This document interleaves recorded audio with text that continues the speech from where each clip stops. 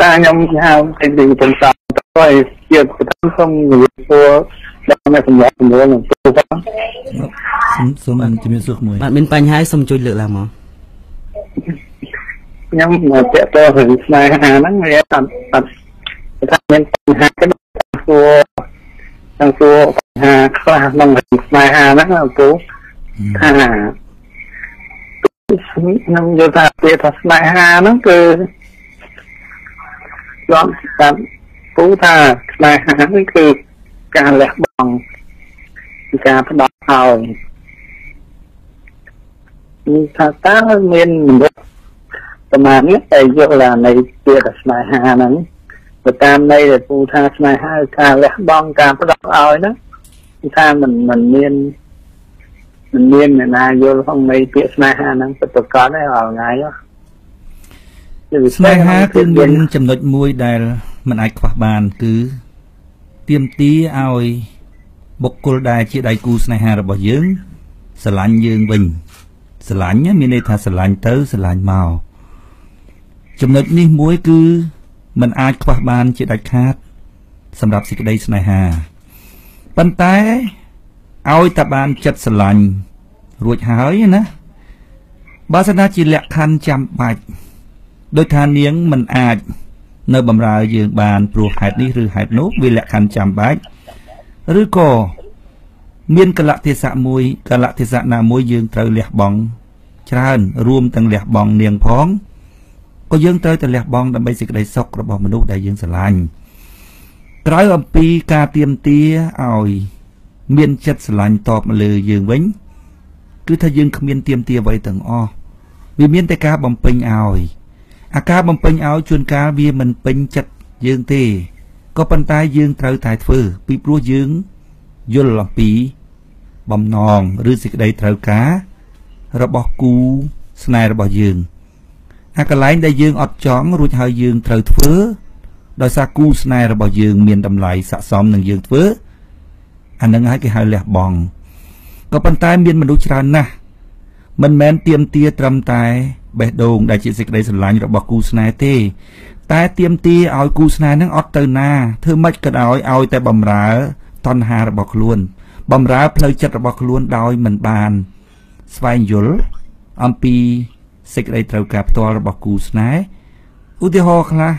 មនុស្សស្រីខ្លះឬមនុស្សប្រុសខ្លះគាត់ត្រូវមានពេលដើម្បីដើរលេងពិភាក្សាជាមួយមិត្តភ័ក្តិស្រី ឬមិត្តភ័ក្តិប្រុសរបស់គាត់ដែរ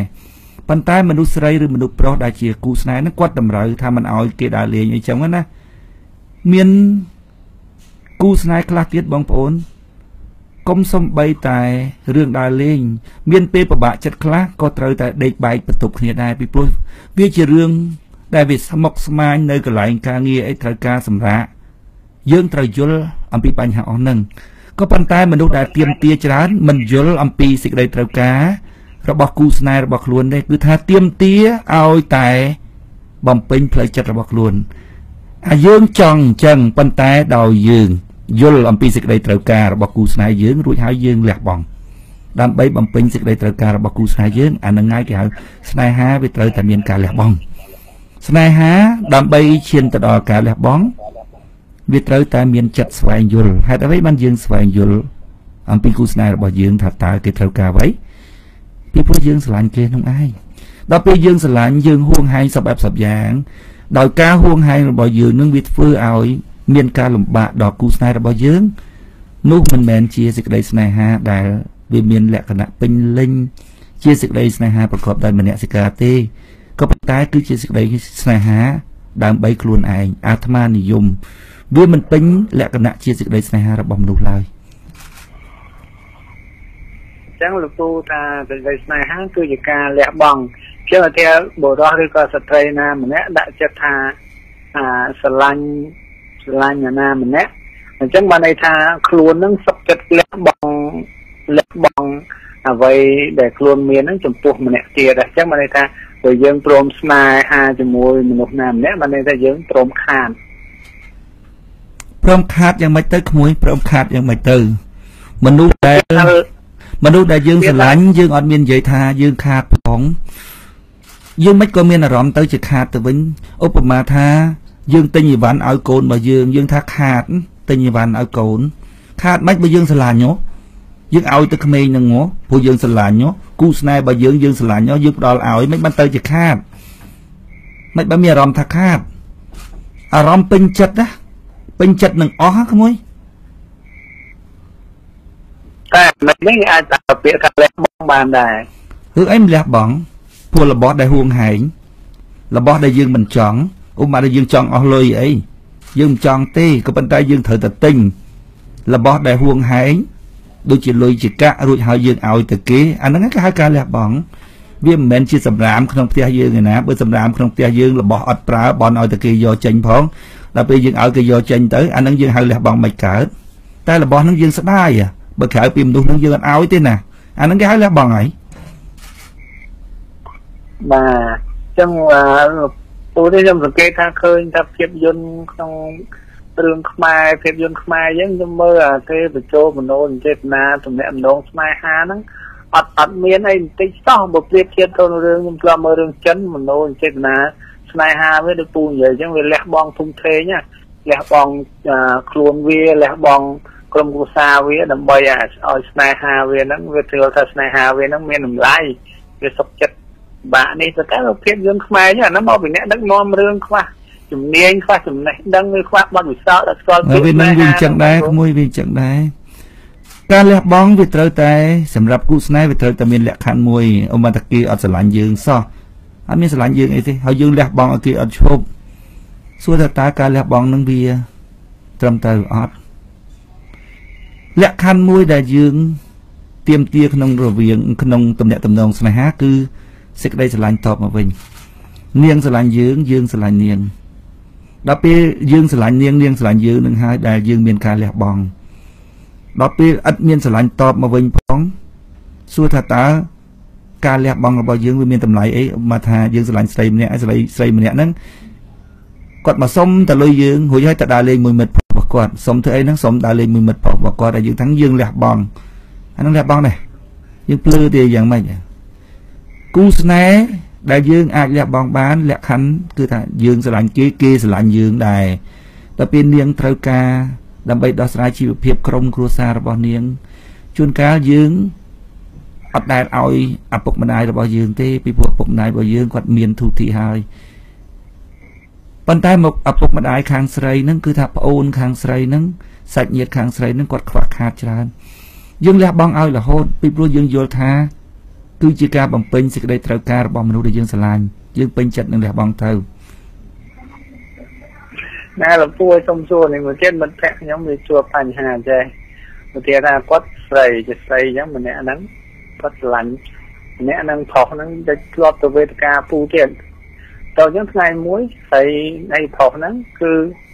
គឺបានជ្រុលជ្រងចេញវេទិកាពូគឺបានជ្រុលជ្រោះបានខ្លួនបានត្រាងគ្នាយូរកន្លងខែទៅប្រុសហ្នឹងមកប្រាប់ថាសុំដកខ្លួនពីស្រីហ្នឹងឲ្យដោយសារគេមានមានពុកម្ដាយគេរៀបចំឲ្យអ្នកស្រីផ្សេងទៀតចឹងគេមានម្នាក់ម្ដងមិនថាបើមករៀបការជាមួយយើងម្នាក់ថតបានខ្លួនយើងនេះថាបើមករៀបការអីមួយយើងគ្រួសារគេហ្នឹងពិបាក គេថាមានបញ្ហាគ្រប់ទាំងអស់អញ្ចឹងគេត្រូវមាននារីម្នាក់ទៀតថ្មីគេមកប្រាប់យើងថាអញ្ចឹងគេសុំបាយពីយើងតើប្រុសហ្នឹងជាមនុស្សដែលដែលយើងគួរស្ដាយឬក៏មិនដែរបងបញ្ហាណាក្មួយ សំខាន់គឺយើងជាមនុស្សស្រីនឹងយើងត្រូវថែរក្សាតម្លៃរបស់ខ្លួនយើងផងកុំវាធ្លាក់ចូលដល់រឿងងាយនឹងពេកហើយត្រូវយល់ថាមនុស្សប្រុស ដែលស្រឡាញ់មនុស្សស្រីពិតប្រាកដក៏មិនងាយនឹងធ្លាក់ចូលដល់រឿងនឹងដែរវាមានកលៈទេសៈពិសេសខ្លះដែរវាមិនមែនថាអត់ទេក៏ប៉ុន្តែរឿងអស់នោះវាទាល់តែ មានឧទាហរណ៍ច្បាស់លាស់ថាតើវាមានករណីពិសេសណាខ្លះដែលវាធ្លាក់ចូលដល់រឿងប្រព្រឹត្តរឿងប្រទេសផ្ដាស់នឹងមុននឹងអាពាហ៍ពិពាហ៍ប៉ុន្តែជាទូទៅ ខាងស្រីក៏ត្រូវតែផ្ដល់តម្លៃឲ្យខ្លួនឯងកុំរឿងងាយពេកអំពីរឿងហ្នឹងកុំសំបីថាយើងហ្នឹងគឺ ជាស្រីក្រមុំសំបីថាជាស្រីមេម៉ាយវាមិនតាក់ទងជាមួយនឹងខ្លួនប្រាណរបស់យើងដែលវាធ្លាប់ប្រឡាក់ហើយគួរតែឲ្យប្រឡាក់អ្នកផ្សេងទៀតឬក៏ត្រូវតែឲ្យប្រឡាក់អ្នកផ្សេងទៀតឬក៏ថាប្រឡាក់នឹងអ្នកផ្សេងទៀតវាមិនមែនជាបញ្ហានោះទេគឺថាវាតាក់ទងជាមួយនឹងតម្លៃនៃចិត្តងាយរបស់យើងនឹងត្មងអានឹងមួយទី2យើងត្រូវសង្កេតមើលមនុស្សប្រុសបើថាស្រឡាញ់យើងមិនទាន់បានស្អីផងគិតតែពីរឿងអានឹងណាវាសុទ្ធតែមានបញ្ហាហើយមនុស្សប្រុសដែល ស្រឡាញ់ស្រីពិតប្រកបតែបើស្រីនឹងវាមានលក្ខណៈបែបនឹងងាយពេកណាមនុស្សប្រុសដែលចង់បានយើងជាគូស្នេហ៍ក៏គេមិនស្រឡាញ់ស្រីប្រភេទនឹងដែរគឺគេចង់បានតែខ្លួនទេហើយបើវាធ្លាក់ដល់ដំណាក់កាលដែលអញ្ចឹងហើយពូមិនដឹងជានិយាយថាម៉េចទេវាមានតែទៅតាមដំណើរនឹងហើយពីព្រោះយើងមិនបានគិតត្រេះរិះពិចារណាសង្កេតសម្រាប់ចិត្តមុននឹងយើងប្រព្រឹត្តរឿងជ្រុលជ្រោះដល់ពេលប្រព្រឹត្តរឿងជ្រុលជ្រោះរួចហើយ វាជួបរឿងអញ្ចឹងអាហ្នឹងវាមានតែតោះស្រ័យតាមដំណើរហ្នឹងបើហៅគេនៅជាមួយយើងបានក៏នៅបើហៅគេនៅមិនបានអាហ្នឹងឲ្យគេទៅទៅហ្នឹងហើយពូដែលនេះខ្ញុំថាឲ្យស្រីឲ្យអញ្ចឹងគេគាត់បែរជាថាជ្រុលជ្រោះហ្នឹងគឺត្រូវគាត់យល់ថាហ្នឹងវាត្រូវអំពើគេទៅវិញគាត់ទៅចង់ទៅមើលខ្លួនថាអំពើមួយស្រីហ្នឹងវាវិញបាទ គាត់ថាដោយសារទៅអំពើទៅអីគេបានបដាលើគាត់ហ្នឹងបដោយខ្លួនដល់ថ្នាក់ឲ្យគេបានខ្លួនបានអីចឹងគាត់បែរជានិយាយចឹងវិញអ្នកស្រីហ្នឹងជួនកាលនាងខ្មាស់អៀនពេកមិនដឹងនិយាយថាម៉េចនិយាយថាចឹងទៅអឺប៉ុន្តែខ្មាស់អៀនប៉ុន្តែមានគេហ៊ាននិយាយប្រាប់ខ្ញុំនៅជាហ៊ាននិយាយពីរឿងនងប៉ុន្តែខ្មាស់អៀនរឿងខ្លួនឯងដូចតែបដោយខ្លួនខ្លាំងពេកអញ្ចឹងមិនអាចទទួលយកការពិតបានក៏ភូតថាត្រូវអំពើធ្វើអីក៏ថាបានអញ្ចឹងណាវាគ្មានតែត្រូវអំពើស្អីទេ ត្រូវមុនស្នេហ៍គេហ្នឹងណាបាទសូមអរគុណទៅសារលេខទូរស័ព្ទបងប្អូនមកបាទសូមប្រាប់ពីអាយុនឹងទីកន្លែងណាមកកាន់កម្មវិធីយើងផងបានហើយបងសូមប្រាប់អាយុនឹងទីកន្លែងណាមកផងអបាទខ្ញុំអាយុ20ឆ្នាំខលចេញពីខេត្តបាត់ដំបងទៅបងបាទសូមបងប្អូនជួយយើងស្ដាប់តាមទូរស័ព្ទនិងកុំស្ដាប់តាមប្រព័ន្ធ Facebook អីយើងពិបាកតាក់ទងគ្នាបាទបាទបាទឥឡូវមានបញ្ហាសូមជួយលើកឡើងមក បាទខ្ញុំនិយាយទៅខ្ញុំមានចង់សារបងតែខ្ញុំពីមុនខ្ញុំជាមនុស្សខូចចឹងដល់ពេលហើយខ្ញុំកែខ្លួនទៅគេនៅតែអត់ជឿខ្ញុំតែខ្ញុំអាចមានលោកពូអាចជួយដោះស្រាយបញ្ហានឹងខ្ញុំបានតែខ្ញុំអាចធ្វើមកទៀតដើម្បីឲ្យគេជឿជាក់ខ្ញុំហ្នឹងពូជឿជាក់ថាបើសិនណាជា យើងប្រស័យតាក់ទងជាមួយគ្នាណាបើក្មួយពិតជាកែមែនពូជឿជាក់ថាមនុស្សអាចនឹង feel ត្រូវថាក្មួយបានកែប្រែអត្តចរិតរបស់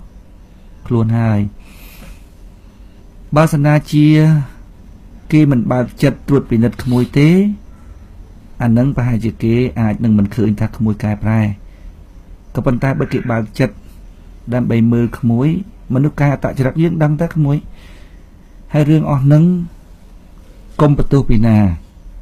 បន្ទោសខ្លួនឯងពីព្រោះថាក្មួយបានធ្វើរឿងហ្នឹងដូច្នេះបើសិនណាជាក្មួយបាត់បង់មនុស្សស្រីហ្នឹងអាហ្នឹងវាជារឿងរបស់ក្មួយផ្ទាល់ដែលក្មួយបានប្រព្រឹត្តដល់ពេលអញ្ចឹងទៅគេក៏លែងជឿក្មួយក្មួយត្រូវទទួលយកការពិតដែលក្មួយបានសាងកំហុសហើយក្មួយមានតួនាទីក្នុងការលុបលាងកំហុសហ្នឹងគេ ជាអ្នកចាំដាក់បន្ទុកឲ្យក្មួយបើគេមិនដាក់ទេអានឹងរឿងរបស់គេហើយក្មួយគ្មានសិទ្ធអីទៅទៀមទាទេពីព្រោះថាក្មួយខូចចឹងមែនពីមុនមកតែពូអឺចាពូអឺនិយាយទៅតាំងពីខ្ញុំពីមុនខ្ញុំខូចតាំងពីខ្ញុំយល់ LP មកតាំងពីនឹងខ្ញុំកែខ្លួនអស់ប៉ុន្តែគេនៅតែមើលអត់ឃើញគេអត់គឺអត់ខ្ញុំស្រឡាញ់គេពិតប្រកបតែខ្ញុំដូចគេអត់ចាប់ លើខ្ញុំសោះហ្មងមួយខូចនឹងខូចដាក់នាងហ្នឹងហ៎អត់ទេពូនាងហ្នឹងជាអ្នកដែលថ្មីដែលខ្ញុំតាមស្រឡាញ់តែខ្ញុំទទួលបានការស្រឡាញ់ពីគេពាក្យស្រឡាញ់គេត្រឡប់វិញទទួលបានពាក្យថាស្នេហាទៅវិញទៅមកតែទោះបីខ្ញុំធ្វើមិនក៏គេដូចថាមិនដូចជាទុកចិត្តខ្ញុំខ្លាំងខ្លាព្រោះនិយាយទៅគេដូចអត់ទុកចិត្តតែខ្ញុំស្រឡាញ់គេពុតប្រកបទេណាព្រោះក្រៅអំពីរូបសម្ផស្ស ដែលក្មួយ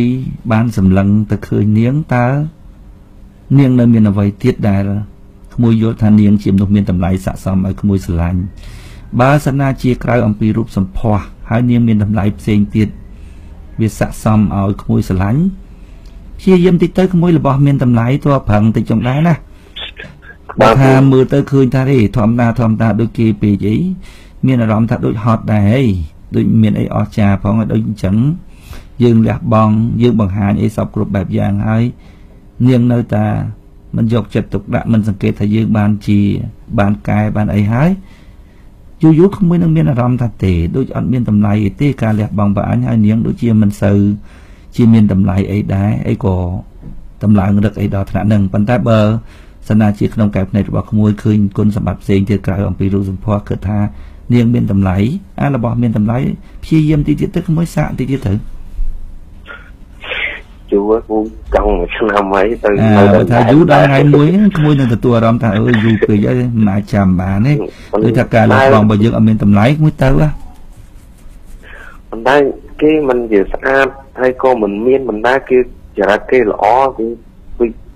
ដូចគេសងតាមខ្ញុំអញ្ចឹងគេមិនជាតាក់តងខ្ញុំអីញឹកញាប់ទេប៉ុន្តែគេក៏អត់តាក់តងអ្នកផ្សេងទៅខ្ញុំចិត្តអត់បាច់ពីគេហេតុអ្វីបានជាក្មួយមិនសួរ និយាយត្រង់ត្រង់ទោះថាហេតុអីបានចឹងខ្ញុំសួរគេថាគេស្រឡាញ់ខ្ញុំអត់គេថាគេស្រឡាញ់ប៉ុន្តែ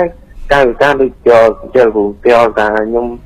ខលទៅគេ MS ទៅគេគេអត់សូវខ្វាយខ្វល់ពីខ្ញុំណាគេអត់ខ្វល់ថាខ្ញុំស្រឡាញ់គេគេដូចមិនសូវវិលវល់មកខ្ញុំវិញណាគ្រូខ្ញុំវិលវល់ថាគេញ៉ាំបាយនៅខ្ញុំប្រាប់គេថាខ្ញុំនឹកគេអញ្ចឹងប៉ុន្តែគេថាមកខ្ញុំគេមិននិយាយទៅខ្ញុំថានឹកគេគេថាគេឆ្លើយថាដឹងហើយ ហើយខ្ញុំថាគេញ៉ាំបាយនៅគេតែប៉ុណ្្នឹងតែគេអត់មានសួរខ្ញុំវិញគេអត់ខលពីខ្ញុំបើខ្ញុំមិនអែមអែទៅគេមុនខលទៅគេមុនគេអត់ខ្វល់ពីខ្ញុំហ្មងគេអត់ខ្វល់អីពីខ្ញុំសោះមិនអត់ទេពូថាបើមនុស្សស្រឡាញ់គ្នាមែនណាក្មួយពូគិតថាក្មួយនឹងទទួលអារម្មណ៍ថាគេនឹងស្រឡាញ់ក្មួយដែរតាមរយៈកាយវិការណាមួយដែលក្មួយអាចនឹងពណ៌ត្រូវបើ ការងារនឹងវាសោះអង្គើយបែបហ្នឹងការឆ្លើយតបវាសោះអង្គើយបែបហ្នឹងពូជឿថាមនុស្សដែលមានចិត្តស្រឡាញ់មិនអាចធ្វើការងារសោះអង្គើយយ៉ាងបានទេលើកលែងតែគេមានចិត្តស្រឡាញ់ដែរតែពេលគេឃើញចរិតក្មួយមិនល្អឧទាហរណ៍ដូចជាគេមិនចូលចិត្តឲ្យមនុស្សប្រុសហ្នឹងតាក់ទងគេមុនរៀបការស្និទ្ធស្នាលអីខ្លាំងពេកហើយក្មួយមិនយល់ចិត្តគេក្មួយចេះតែរកស្គៀលរកស្គៀលតាក់ទងទៅគេអីចឹង គេមិនចូលចិត្តមនុស្សប្រុសបែបហ្នឹងគេក៏ចង់ដាច់ទំនាក់ទំនងឬក៏មិនដឹងបើគ្រួសារពូវិញគឺគ្មានសោះក្មួយគ្មានសោះអារបៀបហ្នឹងគឺអត់ហ្មងបងប្អូនកូនស្រីរបស់គ្រួសារពូបើស្នាជាមានមនុស្សប្រុសមកតាក់ទងរបៀបហ្នឹងដូចមានអារម្មណ៍ថាមនុស្សប្រុសនឹងអត់ឲ្យតម្លៃមនុស្សស្រីនឹងគឺអត់ហ្មងនាងដឹងថាអត់មកគ្រួសារពូបើម៉ែពូវិញថ្ងៃភ្ជាប់ពាក្យប្អូនស្រីពូគឺថាថតរូប2នាក់ក៏អត់បានម៉ែផ្ដាំផ្ដាច់ថាកូនមួយ ក្មួយឯងមិនអាចថតរូបជាមួយកូនស្រីអ៊ំ2នាក់បានទេនៅថ្ងៃភ្ជាប់ពាក្យពីព្រោះមិនដឹងជាដាច់គ្នាឬក៏យ៉ាងម៉េចទេទៅថ្ងៃក្រោយបើដាច់គ្នាទៅក្មួយឯងអាចយករូប2នាក់ហ្នឹងទៅប្រាប់គេថា2នាក់ហ្នឹងធ្លាប់ជាសង្សារធ្លាប់ជាអីអីចឹងចឹងមីងហាមផ្ដាច់ទី1មិនឲ្យថតរូបជាមួយកូនមីងទី2គឺពូមីងហាមផ្ដាច់មិនឲ្យមកនាំកូនមីងដើរលេងបើក្មួយចង់មកនាំគឺគ្រួសារមីងក៏ទៅគ្រួសារក្មួយក៏ទៅអានឹងបាន អត់មាននេះ SMS អីណាសេបតដាក់គ្នាអីទេហ្វូនរបស់នេះអត់ទេអត់ហ្មងដល់ពេលមនុស្សស្រីដែលមានលក្ខណៈអញ្ចឹងដល់ពេលមនុស្សប្រុសនឹងជំរុញជំរុញជំរុញមនុស្សស្រីនឹងមើលឃើញថាអត់ចូលចិត្តមនុស្សប្រុសបែបហ្នឹងគាត់ថាបានបើតាមថាក្មួយប្រាប់មកថានាងស្រឡាញ់ដែរសកម្មភាពបែបនេះគឺអត់អាចទេមនុស្សដែលស្រឡាញ់គ្នាគឺមិនអាចធ្វើអញ្ចឹងទេក្មួយគឺអត់ហ្មងប្រកាសជាមានស្អីឆ្លើយតបមួយឲ្យក្មួយដឹងថាគេស្រឡាញ់ក្មួយដែរគេយកចិត្តទុកដាក់មិនជា ខ្ញុំឲ្យតម្លៃគេខ្លាំងព្រោះពួកឯងខ្ញុំមិនទៅឆាតទៅគេរងថ្ងៃអីណាអឺបើស្នាជាក្មួយពិតជាឲ្យតម្លៃគេមែននឹងគឺជាសកម្មភាពដែលបញ្ជាក់ថាគេមិនស្រឡាញ់ក្មួយហើយព្រោះក្មួយឲ្យតម្លៃហើយគេនៅធ្វើអញ្ចឹងនឹងជាសកម្មភាពដែលអឺខ្ញុំមិនចង់បានឲ្យគេឲ្យតម្លៃតែគេស្រឡាញ់ខ្ញុំវិញទេមិនឲ្យតម្លៃទេមួយចង់ដឹងបេះដូងរបស់គេស្រឡាញ់ក្មួយអញវិញអត់សកម្មភាពបែបហ្នឹងគេឆ្លើយតបមកក្មួយគឺបញ្ជាក់ថាគេអត់ស្រឡាញ់ក្មួយបាទ ប៉ុន្តែគេយកអឺប្អូនគេសួរចឹងគេនិយាយពីខ្ញុំគេនិយាយល្អពីខ្ញុំច្រើនប៉ុន្តែគេធ្វើមកលើខ្ញុំទៅអត់បានដូចសម្ដីគេសោះខ្ញុំឆ្ងល់ចឹងប៉ុន្តែខ្ញុំនិយាយទៅកាយវិការខ្ញុំធ្វើទៅលើគេពេលម៉ោងគេរៀនខ្ញុំគេទៅរៀនធម្មតាទៅតបខ្ញុំឆាទៅសួរគេមួយម៉ាត់ចឹងរវល់អត់បើគេថារវល់ខ្ញុំតែប៉ុណ្្នឹងខ្ញុំអត់មានចាក់តងគេទេបើថាគេថាគេអាចលេងបានមួយផ្លែលេងនៅមួយផ្លែហ្នឹងទៅគេរវល់គេរវល់ទៅ ខ្ញុំនិយាយទៅតើតែពេលគេទនេខ្សឹងតែគ្មានការងារធ្វើអង្គុយចុចទូរស័ព្ទលេងបាទខ្ញុំអាចតែអាចទៅគេតែពេលខ្លះទៅគេមិនខ្ចីរវល់របស់ខ្ញុំនឹងជាសញ្ញាមួយនៃការមិនស្រឡាញ់ឯក្មួយនឹងជាសញ្ញាមួយនៃការមិនស្រឡាញ់ឯពូមិនជឿថាមិនស្រឡាញ់ទេចឹងឯគាត់ជឿឯវាត្រូវតែមានសកម្មភាពណាមួយដែលក្មួយ feel ដឹងថានឹងគឺជាសកម្មភាពរបស់មនុស្សស្រឡាញ់ទោះបីនៅឆ្ងាយគ្នាកម្រិតណាក៏ដោយបាទ គ្រូក្មួយត្រូវពិចារណាកន្លែងនឹងមែនទែនអាគេអត់ស្រឡាញ់យើងហ្នឹងណាប្រយ័ត្នអត្រង់ចំណុចហ្នឹងមែនទែនតែនិយាយទៅពេលទីហោដូចអ្នកស្គាល់គេអញ្ចឹងគេនិយាយទៅអ្នកស្គាល់ដូចអ្នកស្គាល់ឪពុកម៉ាក់គេនិយាយពីខ្ញុំទៅគេសរសើរបើសិនណាជាអញ្ចឹងក្មួយអាចសួរនាងផ្ទាល់ក្មួយមិនដែលជួបនាងទេឬយ៉ាងម៉េចអត់ទេពូនិយាយទៅជាលក្ខណៈពីស្នេហាកើតចេញពីពួកម៉ាក់ទៅពូ ហេស្នេហាកើតចេញពីពួកម៉ាក់ឬក៏អីក៏មិនគិតទេពីកំណើតនៃសេចក្តីស្នេហាប៉ុន្តែក្មួយដែលជួបអត់ដែលជួបទៅលោកពូដែលជួបហេតុអីមកក្មួយមិនសួរក្មួយសួរថាសួរឲ្យគេពេលសួរអញ្ចឹងគេនិយាយមកខ្ញុំធម្មតាអញ្ចឹងតែដល់ពេលគេនិយាយថាវាដូចសក់អង្គើលើលពូនិយាយហ្នឹងគេនិយាយអេគ្មានស្រឡាញ់ទេគ្មានស្រឡាញ់ទេមនុស្សស្រឡាញ់មិនអញ្ចឹងទេក្មួយបាទគ្រូក្មួយត្រូវប្រាប់ឲ្យច្បាស់ថាខ្ញុំទទួលអារម្មណ៍ថា សកម្មភាពបែបហ្នឹងគឺអត់មានស្រឡាញ់ខ្ញុំទេខ្ញុំទទួលអារម្មណ៍អញ្ចឹងបើអត់ស្រឡាញ់ប្រាប់ខ្ញុំថាអត់ស្រឡាញ់ដើម្បីខ្ញុំរៀបរយផ្លូវចិត្តរបស់ខ្ញុំទៀតបើសិនណាជាស្រឡាញ់រួចហើយធ្វើសកម្មភាពបែបហ្នឹងគឺថាខ្ញុំអាចរស់នៅមួយបានទេថ្ងៃក្រោយដល់ពេលរៀបការមួយគ្នាស្រឡាញ់ធ្វើចឹងទៀតខ្ញុំស្រឡាញ់បើខ្ញុំធ្វើតែចឹងអូទទួលយកបានទេស្រឡាញ់ហើយចឹងបាទបាទអាហ្នឹងបើចរិតរបស់នាងហ្មងមួយគិតមើលមើលបើចរិតរបស់នាងអញ្ចឹងដល់ពេលរៀបការរួចហើយមួយទ្រាំកើតដែរ ចរិតចរិតអញ្ចឹងថាខ្ញុំស្រឡាញ់បើខ្ញុំចឹងអាហ្នឹងមួយត្រូវអាហ្នឹងក្មួយទៅគិតណាដល់ពេលការរួចក្មួយទទួលយកចរិតអញ្ចឹងបានអត់មួយទៀតពូថាគេអត់ស្រឡាញ់ហ្មងក្មួយសួរច្បាស់ថាយើងជាមនុស្សដែលប្រុងរស់នៅជាមួយគ្នាចាប់ដៃគ្នាជាគូអនាគតវាគួរតែ គឺជាមនុស្សដែលយើងអាចនិយាយស្ដាប់ហេតុផលគ្នាបាន បងមានអារម្មណ៍ថាអូនឯងអត់ស្រឡាញ់បងទេ បងមានអារម្មណ៍អញ្ចឹងហេតុអីពេលបងមេសេចទៅអូនឯងអត់ឆ្លើយតបអូនឯងឆ្លើយតបតាមរបៀបសោះអង្គើយអូនឯងយល់ពីអ្វីដែលបងនិយាយអត់បងទទួលអារម្មណ៍បាន ថាអូនអត់ស្រឡាញ់បងទេពីព្រោះអូនសោះអង្គើយអូនឆ្លើយមកហើយបើនិយាយស្ដាប់នេះមិនបានក្មួយចង់ចងជាគូជីវិតនៅថ្ងៃអនាគតមិនសំខាន់ជាងគេបំផុតគឺក្មួយអាចនិយាយហេតុផលជាមួយគ្នាបាន ក្មួយត្រូវតែច្បាស់លាស់ហើយនិយាយពីចិត្តរបស់ក្មួយឲ្យច្បាស់ពេលជួបគេនឹងថាបងទទួលអារម្មណ៍ថាអូនឯងអត់ស្រឡាញ់បងទេអូនឯងធ្វើសកម្មភាពសងអង្គើយត្រង់ណាដែលបញ្ជាក់ថាអូនឯងស្រឡាញ់បងបងទទួលអារម្មណ៍ថាអូនឯងសងអង្គើយជាមួយបងអូនឯងអត់ស្រឡាញ់បងទេឬក៏អូនមានបញ្ហាអ្វីមួយទៀតអូនប្រាប់បង ហើយបើអូនអត់និយាយហេតុផលហើយអូននៅតែធ្វើបែបហ្នឹងបងមានអារម្មណ៍ថាអូនគឺជាមនុស្សអត់ហេតុផល វាត្រូវតែបែកគ្នាវាត្រូវតែអីក្មួយត្រូវហ៊ានទទួលយកការពិតថាហេតុផលដែលក្មួយមើលឃើញឬសង្កេតឃើញឬចាប់ថ្នាក់ថានាងអត់ស្រឡាញ់ក្មួយទេ នាងសោះអង្គើយជាមួយក្មួយរួចហើយក្មួយយករឿងហ្នឹងទៅនិយាយជាមួយគេថាខ្ញុំអត់ទទួលអារម្មណ៍ថាអូនស្រឡាញ់បងទេពីព្រោះហេតុនេះហេតុនេះហេតុនេះហេតុនេះបងធ្លាប់ធ្វើចេះចេះដាក់អូនអូនធ្វើចេះចេះហើយចាំស្ដាប់គេវិញតើគេជាមនុស្សមានហេតុផលអត់បើគេជាមនុស្សដែលស្រឡាញ់យើង គេនឹងប្រាប់ហេតុផលមកលើយើងវិញហើយមនុស្សដែលស្រឡាញ់យើងណាក្មួយមនុស្សដែលមានមនសិការខ្ពស់ណាកាត់ទុកកាត់ទុកកាត់ទុកឲ្យមានភាពសៅមង នៅក្នុងចិត្តរបស់គុំសំបីត្រឹមតែជាមនុស្សដែលយើងស្រឡាញ់សំបីតែអ្នកដតីជាមិត្តជាភ័ក្រណាកាលណាគេអន់ចិត្តជាមួយយើងរួចហើយយើងទុក ឲ្យគេអន់ចិត្តដោយយើងដឹងថាគេអន់ចិត្តជាមួយនឹងយើងណាគឺមានន័យថាយើងអត់ឲ្យតម្លៃទៅលើមនុស្សនឹងទេ យើងមិនមែនជាមនុស្សដែលគេហៅមានសិលធម៌ខ្ពស់ទេឧបមាថាយើងជាប្តីយើងដឹងថាប្រពន្ធយើងខឹងយើងធ្វើអត់ដឹងយើងធ្វើអត់ដឹងគោនៅក្នុងដួងចិត្តរបស់បុគ្គលនឹងមនុស្សដែល មានការទទួលខុសត្រូវខ្ពស់ហ្នឹងក្មួយសួរគេឲ្យសួរទៀតថាខ្ញុំបញ្យល់អញ្ចឹងទៅ បងអាចទទួលយកបានអត់អូប្រហែលតែគេនិយាយថាអូក្មួយនិយាយថាអូយបងមានអារម្មណ៍ថាបងអូនអូនអត់ស្រឡាញ់បងទេអូនសង្កើយមួយបងពេលបងមេសេទៅអូនធ្វើចេះចេះចេះដាក់បងបើមនុស្សស្រីហ្នឹងគឺជាមនុស្សដែលមានការទទួលខុសត្រូវហើយគឺជាមនុស្សដែលស្រឡាញ់ក្មួយវិញគេនឹងបកស្រាយប្រាប់ក្មួយថាមិនអញ្ចឹងទេខ្ញុំធ្វើអញ្ចឹងចេះហើយពេលណាឃើញក្មួយមុខក្រៀមនៅតែដើរតាមសួរក្មួយអញ្ចឹងសួរថាម៉េចសួរថាតើខ្ញុំបញ្យល់ហ្នឹងវាមិនអាច ធ្វើឲ្យបងស្ងប់ចិត្តឬយ៉ាងម៉េចតើវាមានចំណុចណាទៀតដែលបងនៅមិនអស់ចិត្តបងនិយាយប្រាប់ខ្ញុំឲ្យដឹងមកចុះបើគេអត់ឲ្យតម្លៃយើងផងហ្នឹងពេលណាយើងនិយាយប្រាប់ពីទុកសោកពីការរង្គៀសក្នុងផ្លូវចិត្តរបស់យើងហើយគេធ្វើមិនដឹងគេទុកឲ្យគោនៅភាពសៅមងក្នុងដួងចិត្តរបស់យើងតើគេឲ្យតម្លៃយើងអត់មួយបាទពូបាទដែរពូនិយាយទៅ ដល់យើងកែខ្លួនហ្នឹងទៅយើងឃើញគេល្អចេះជាប់ចិត្តស្រឡាញ់គេយូរដូចដល់ពេលយើងនិយាយអាពាក្យថានិយាយបាច់ការចង់បាយគ្នាមួយគេមិនបាច់និយាយទេណាពូ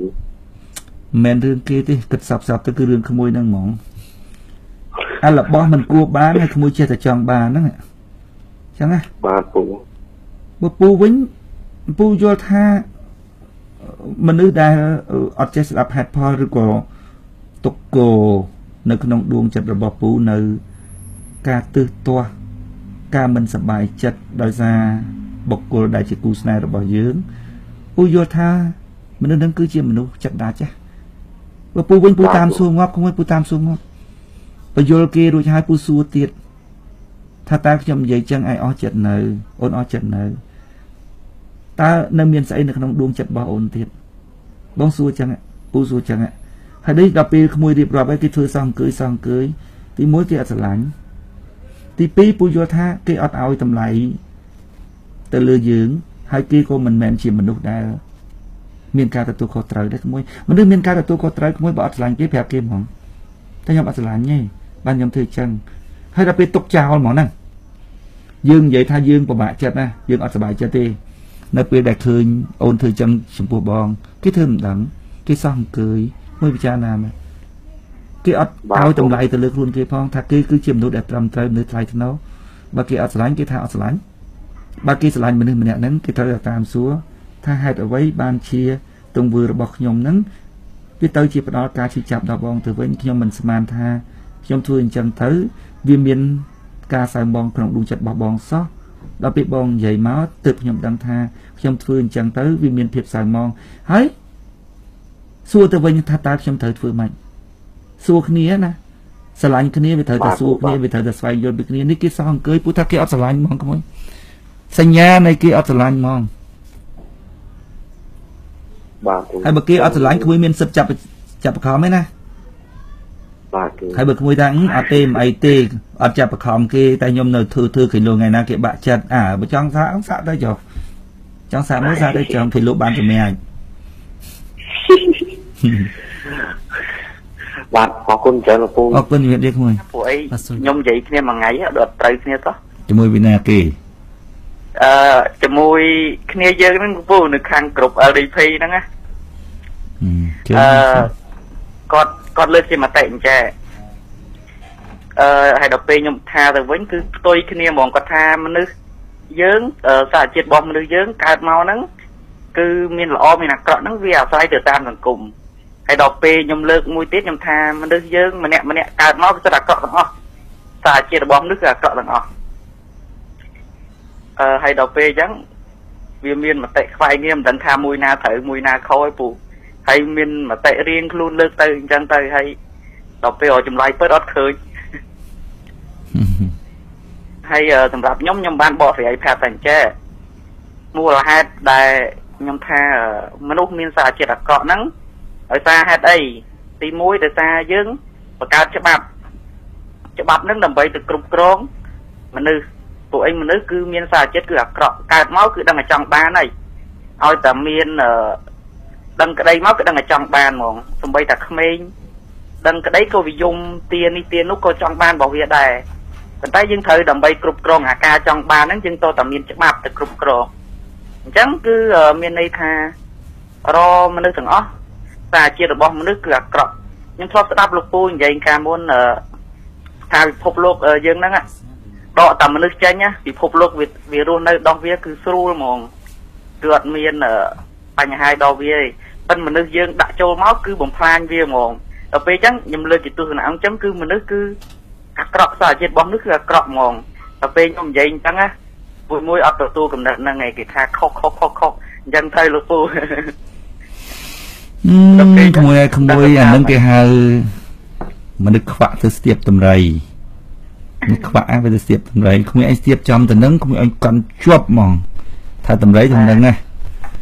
ហើយមនុស្សម្នាក់ទៀតគាត់ស្ទាបចំកន្លែងផ្សេងគាត់និយាយថាតម្រៃមិនអញ្ចឹងទេមិនដូចគ្មានឯងនិយាយទេតម្រៃគឺជើងគ្មានឯងចាប់ចំកតុយថាតម្រៃគឺកតុយគ្មានឯងចាប់ចំមួយហ្នឹងគឺគ្មានឯងស្រែកយកស្រែកយកស្រែកយកតែត្រង់ហ្នឹងគ្មានឯងអត់បាន ទៅស្ដាប់គេដែលគេបញ្យល់នឹងវិញទេថាអត់ទេហែងដើរមកស្ទាបអញមើលលែងកតុយនេះមកស្ទាបចំជើងមើលបានដឹងថាអូជើងក៏តម្រៃដែរឥឡូវហែងមកស្ទាបបើអញមិញមើលមានថាអញនិយាយឲ្យស្ដាប់មើលត្រូវអត់ត្រូវអាក្មួយនិយាយមិញហ្នឹងក៏វាត្រូវមកជ្រុងហើយប៉ុន្តែវាមិនទូទៅទេក្មួយបើនិយាយពីសារជាតិរបស់មនុស្សត្មងណាសារជាតិគឺវាមិនគឺវាមកអញ្ចឹងហើយក្នុងលោកនេះ សម្រាប់មនសិការជាមនុស្សគឺអាចបែងចែកបានពីរថាមនុស្សវាល្អហើយនិងអាក្រក់មនុស្សវាអត់មានមនុស្សកដាលទេអាកដាលហ្នឹងគឺអត់មានហ្មងសម្រាប់មនុស្សវាមានតែល្អហើយនិងអាក្រក់សារជាតិជាមនុស្សអាក្រក់វាមកពីកណើតហ្មងក្មួយសារជាតិរបស់មនុស្សល្អវាមកពីកណើតហ្មងសារជាតិតពូជមកហ្មងมันអាចពីណាទៅដូរសារជាតិបានទេទោះបីជាសង្គមនឹងវាអូសទាញមនុស្សល្អសារជាតិល្អឲ្យទៅជាអាក្រក់ ក៏គង់តែថ្ងៃណាមួយបើសិនជាមានស្អីដែលអូសទាញវាបញ្យល់វាអាធម្មជាតិជាមនុស្សល្អនឹងងើបមកវិញដូចអង្គលីមីអញ្ចឹងប៉ុន្តែបើក្មួយនិយាយពីសារជាតិទូទៅរបស់មនុស្សដូចថាចង់លោភលន់ចង់ស្អីស្អីស្អីហ្នឹងអាហ្នឹងក្មួយចាប់មកចំណុចមកហ្នឹងគឺថាមនុស្សទាំងអាទាំងអស់គឺអាក្រក់ទាំងអស់អញ្ចឹងចង់ត្រូវហើយដូចក្មួយនិយាយចង់អាណាក៏ចង់បានអាណាក៏ចង់បានអញ្ចឹងប៉ុន្តែក្នុងចង់បានក៏វានៅតែមានល្អវាមានអាក្រក់របស់វាហ៎ អាចង់បានខ្លះបើស្នាជាយើងអប់រំរបស់វាទៅវាខុសទៅវាវាវាផ្លាស់វាបដូរអញ្ចឹងទៅវាកើតមកវាយល់អញ្ចឹងទៅវាឈប់បានចង់ឲ្យលោភលន់ហ្នឹងអាសាជាតិលោភលន់ហ្នឹងវាកើតមកពីក្មេងក៏ពិតមែនក៏ប៉ុន្តែដល់ពេលយើងធំទៅយើងយល់ថានេះខុសនោះត្រូវយើងក៏វិឈប់លុបលន់របស់គេនឹងទៅដល់ពេលអញ្ចឹងវាបែងចែកវាដាច់ពីនោះអាក្រក់មកជាមនុស្សល្អមកដល់ក្មួយថាអូមនុស្សកើតមកវាអាក្រក់ទាំងអស់អញ្ចឹង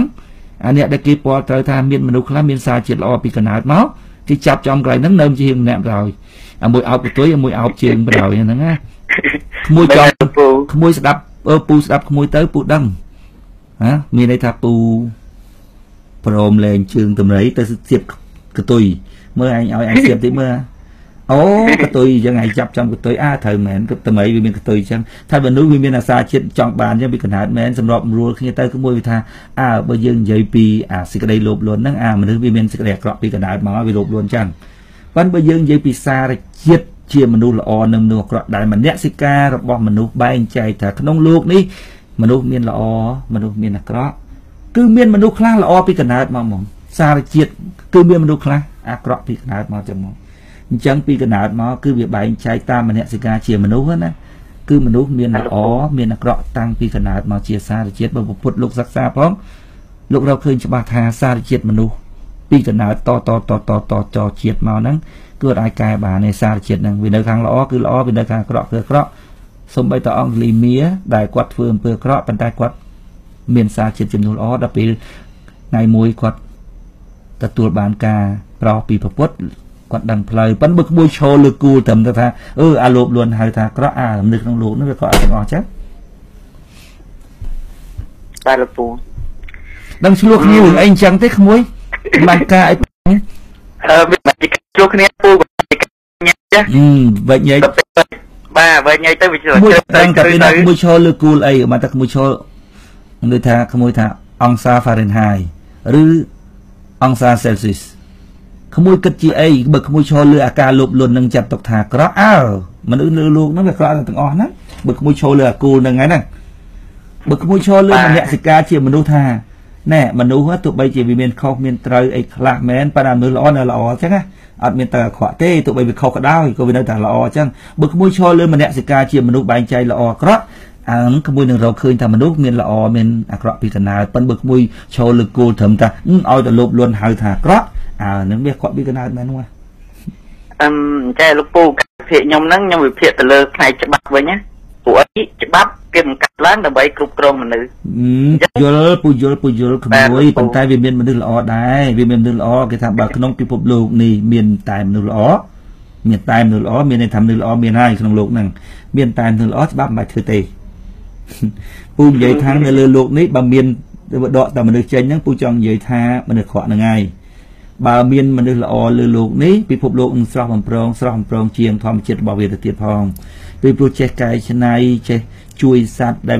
វាវាវាវាវាឈឺវាស្កាត់អីចឹងយើងអាចជួយវាបានវាល្អជាងពិភពលោកដែលអត់មនុស្សផងតែពូនិយាយថាពិភពលោកបើយកមនុស្សចេញហ្នឹងគឺស្រស់បំប្រងពូចង់និយាយថាយកទាំងអស់ណាទាំងល្អទាំងអាក្រក់នឹងចេញហ្នឹងណាពីព្រោះអាក្រក់វាបំផ្លាញពិភពលោកណាក៏ប៉ុន្តែ ពូកុំភ្លេចនិយាយថាក្មួយថាពិភពលោកបើមានតែមនុស្សល្អវាសំផងមិនមែនឲ្យតែមានមនុស្សគឺគឺដឹងតែលាយទេគឺមានមនុស្សអាក្រក់ហ្នឹងហើយបើវាលាយនោះមិនឲ្យតែមានមនុស្សលាយណាក្មួយឥឡូវចុះគេនិយាយថាបើពិភពលោកមានតែមនុស្សល្អស្រួលរស់ងាប់ហើយនេះមិនបាច់តិចបាត់ផងនោះគេនិយាយចឹងហើយពលឆ្នាំក៏បាទមានបញ្ហាសូមជួយលើកឡើងហើយជួយនិយាយបានលឺលឺតិចមកបាទបងវាសួរលោកពូជំរាបសួរក្មួយលោកពូខ្ញុំ ចង់សួរលោកពូតាក់ទងជាមួយនឹងបញ្ហាតខ្លួនរបស់ខ្ញុំលោកពូអញ្ជើញលោកពូអឺដូចតែខ្ញុំគិតអឺតែខ្ញុំឈ្មោះរត់លោកពូអត់បានអឺដូចតែខ្ញុំសម្លឹងមកជីវិតរបស់ខ្លួនឯងវិញឃើញថាដំណើរជីវិតរបស់ខ្លួនឯងហាក់បីដូចជាអត់មានភាពច្បាស់លាស់លោកពូស្អីអឺហើយ កន្លងមកខ្ញុំរៀនដល់ពេលខ្ញុំរៀនទៅអឺថ្នាក់ទី12ហើយខ្ញុំឈប់ដល់ពេលខ្ញុំចូលដល់បកខ្ញុំបញ្ញាចិត្តថាអត់ទៅទៀតទេបន្តមកខ្ញុំរៀនឲ្យចាប់ជំនាញហើយឈប់ទៀតដល់ឡូវមិត្តភក្តិឃើញគេមានបានសល់លុយ60,000អញ្ចឹងដល់ពេលខ្ញុំក៏លេខខ្លួនឯងទោះបីទាត់រៀនចប់បញ្ញាបានប៉ុន្តែអឺចាក់តូនជាមួយនឹងការសល់លុយសពកាសហើយនឹង មុខរបរទៅច្បាស់លាស់តែអញ្ចឹងទៅមើលអត់ដឹងថាខ្លួនឯងចង់ធ្វើអីឲ្យពិតក៏លោកហឹមបើក្នុងខ្លួនក្មួយនឹងរកតាយល់ពីខ្លួនក្មួយមិនបានផងនឹងឲ្យពូទៅយល់យ៉ាងម៉េចពីរឿងក្មួយទេនេះពួកអីពួកអីម៉េចពួកអីលោកពូអឺ ពេលខ្លះក្មួយកំណត់តទៅជាមួយនឹងគោលដៅខ្លួនឯងតែចង់ធ្វើនេះធ្វើនោះតែដល់ពេលជំហាននៅត្រូវដើរដល់ហ្នឹងហើយតែហាក់បីដូចជាអត់ទៅមានភាពរំភើបនៅក្នុងការងារគោលដៅប៉ុណ្ណឹងតែចង់បានលើហ្នឹងទៀតហឹម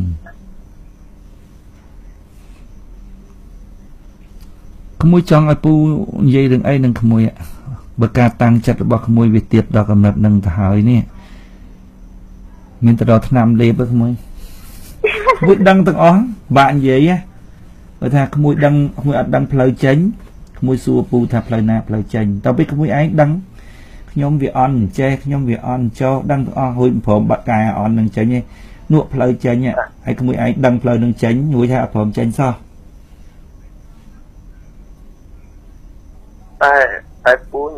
អត់ដឹងថាខ្លួនឯងខ្លួនខ្លួនឯងឥឡូវនេះចង់បានអីរបស់គាត់និយាយរួមអត់នៅយ៉ាងចឹងអីបានតដេកគិតតិចហ្នឹងមួយចង់បានអីច្បាស់លាស់ហ្នឹងខ្លួនឯងចង់បានអីច្បាស់លាស់បាទបាទពូពូហើយមួយទៀតខ្ញុំចង់សួរពូដែរតើតូនជាមួយនឹងបាទពូមួយទៀតតើតូនជាមួយនឹងការងារ ក្នុងសង្កាត់ណាពូអឺដូចតែខ្ញុំប្រកាន់ខ្លួនឯងតាំងពីដើមមកតតការងារមកដល់បានចាប់ផ្ដើមធ្វើចាប់ផ្ដើមរៀនរួចចំណេះដឹងហើយដល់ពេលនេះទៅសមាជិកជើងគាត់សួរនាំទៅឧទាហរណ៍ដូចគួរទីក្រុមប្រសាគុំសង្កាត់នេះគឺមានគួរទីតែអីខ្លះដល់ពេលខ្ញុំអត់ដឹងដល់ពេលអត់ដឹងទៅគាត់និយាយចង់ខឹងគាត់តួនាទីក្រុមប្រសាគុំសង្កាត់អីក្មួយឯង ក្រុមការគុំសង្កាត់គណៈបកឬក៏ក្រុមប្រសាគុំសង្កាត់របស់រដ្ឋទូនទីក្រុមប្រឹក្សាគុំសង្កាត់គណៈបកពូហើយគណៈបកយើងបាទដល់ពេលគាត់សួរថាក្រុមការគុំសង្កាត់11 12នាក់ដែលគេរើសហ្នឹងមានទួនាទីគេខ្លះដល់ពេលមួយអត់ដឹងហើយមួយថាទួនាទីក្រុមប្រឹក្សាគុំសង្កាត់របស់គណៈបកអបាទមានទួនាទីអីក្មួយបោះឆ្នោតជ្រើសរើស បេក្ខជនលេខ1លេខ2ហ្នឹងហើយពេលបោះឆ្នោតជាប់ហើយធ្វើមិនកើតមានតួនាទីក្នុងការផ្តិតមេដៃឬក៏ប្រជុំដើម្បីប្រមូលសម្លេងឲ្យបាន50%បូក1ទម្លាក់អាមេឃុំជាប់ឆ្នោតនឹងវិញតែប៉ុណ្ណឹងអានឹងក្នុងគណៈបកសម្រាប់គណៈបកបើសម្រាប់រដ្ឋាភិបាល អានឹងក្មួយមើលសភៅគេទៅសេអំពីឃុំស្កាត់ហ្នឹងទៅប៉ុន្តែសម្រាប់គណៈបកអត់មានអីទេជ្រើសរើសតែបេក្ខជនឈរឈ្មោះហើយដល់ពេលអាបេក្ខជនឈរឈ្មោះនឹងធ្វើមិនកើតទេគឺថាដឹងតែតម្លាក់មកវិញបាទចុះលោកពូអឺអឺចុះសម្រាប់គណៈបកដែលជាប់ស្នោតទួនាទីរបស់គាត់អឺ11ឬក៏9នាក់5នាក់អីហ្នឹងគាត់មិនទួនាទីគេបាទ5នាក់មួយអ្នកមិនពូមួយយកពូយល់ទេ អឺបាទអត់អីលោកពូអរគុណច្រើនលោកពូអើអូខេបាទសូមជម្រាបលាបងប្រុសខ្ញុំសូមទទួលទូរស័ព្ទពីបងប្អូនខ្ញុំខ្សែទៀតខាងប្រព័ន្ធ012អាឡូជម្រាបសួរអាឡូជម្រាបសួរបងប្អូនសូមជួយជម្រាបទីកន្លែងនិងអាយុផងខ្ញុំខកពីវិទ្យាសេរីទៅអូអូខេបងប្អូនមានមតិយោបល់សូមជូន ខ្ញុំចង់មានមតិយោបល់សួរទៅពូ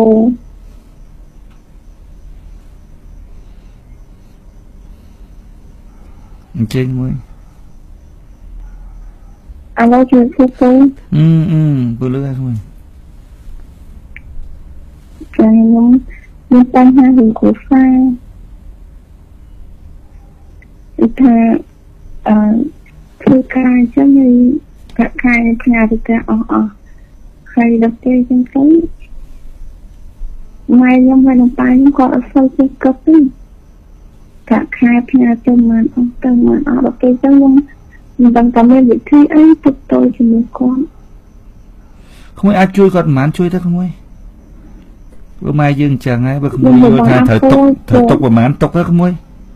មានអ្នកជួយក្មួយបានទេរឿងហ្នឹងមានការសម្រេចចិត្តរបស់ក្មួយក្នុងការដោះស្រាយបញ្ហាហ្នឹងដោយផ្ទាល់បើក្មួយនៅតែបញ្ជូនទៅឲ្យគាត់ឲ្យគាត់ទៅអស់ទៅអស់អញ្ចឹងអាហ្នឹងស្រេចលើក្មួយគិតបើក្មួយថាគាត់ទៅអស់ទៅអស់អញ្ចឹងក្មួយដូចថាអឺដូចថាមួយខែហ្នឹងស្ញាយគាត់ប្រព័ន្ធជាង2000អញ្ចឹងដល់ពេលខលទៅជួយគាត់ហើយសួរម៉ែទៅសាអីគាត់ថាប្រសាជាមួយនេះទឹកត្រីនេះទឹកត្រីនោះប្រហុកអញ្ចឹងចឹងថាដល់ពេលហ្នឹងខ្ញុំសង្ហាចិត្តនឹងថា ហើយលោកផ្ញើទៅម្អែងទៅអីអញ្ចឹងគាត់ថាសុំគេអស់ហើយបែបសោទេខ្ញុំថាលោកពេញស្មុកគាត់ខ្ញុំបាក់ចិត្តហើយគាត់នៅពេលខ្លះខ្ញុំខកទៅគាត់ថាគាត់លុយគាត់ដោយសារគាត់ចាក់ទៅទៅលេងហើយដល់ពេលចឹងខ្ញុំអស់សង្ឃឹមយ៉ារ៉មថាមិនដឹងថាគូទៅតជួគាត់ទៀតឬមកខ្ញុំគួរឈប់ហើយខ្ញុំបើសិនខ្ញុំឈប់ខ្ញុំចិត្តមិនដាច់ទេអឺចិត្តដាច់ជួយទៀតទៅកុំមកសួរពូ បើចិត្តដាច់ផងពូតែចិត្តដាច់ក៏ក្មួយនៅចិត្តដាច់ដែរថាក្មួយបើបើផ្លូវពូពូប្រាប់ថាអឺក្មួយអាចជួយប្រមាណបានជួយប៉ុណ្ណឹងហើយក្មួយគិតថាក្មួយត្រូវຕົកប្រមាណមិនមែនថាក្មួយຕົកនឹងគ្រាន់តែដើម្បីខ្លួនឯងទេគឺຕົកដើម្បីគាត់ផងដែរកាលណាក្មួយមកស្រុកវិញក្មួយមានទុនដើម្បីរកស៊ីបន្តទៅទៀតពេលណាក្មួយរកស៊ីបានក្មួយជួយគាត់បន្តទៅទៀត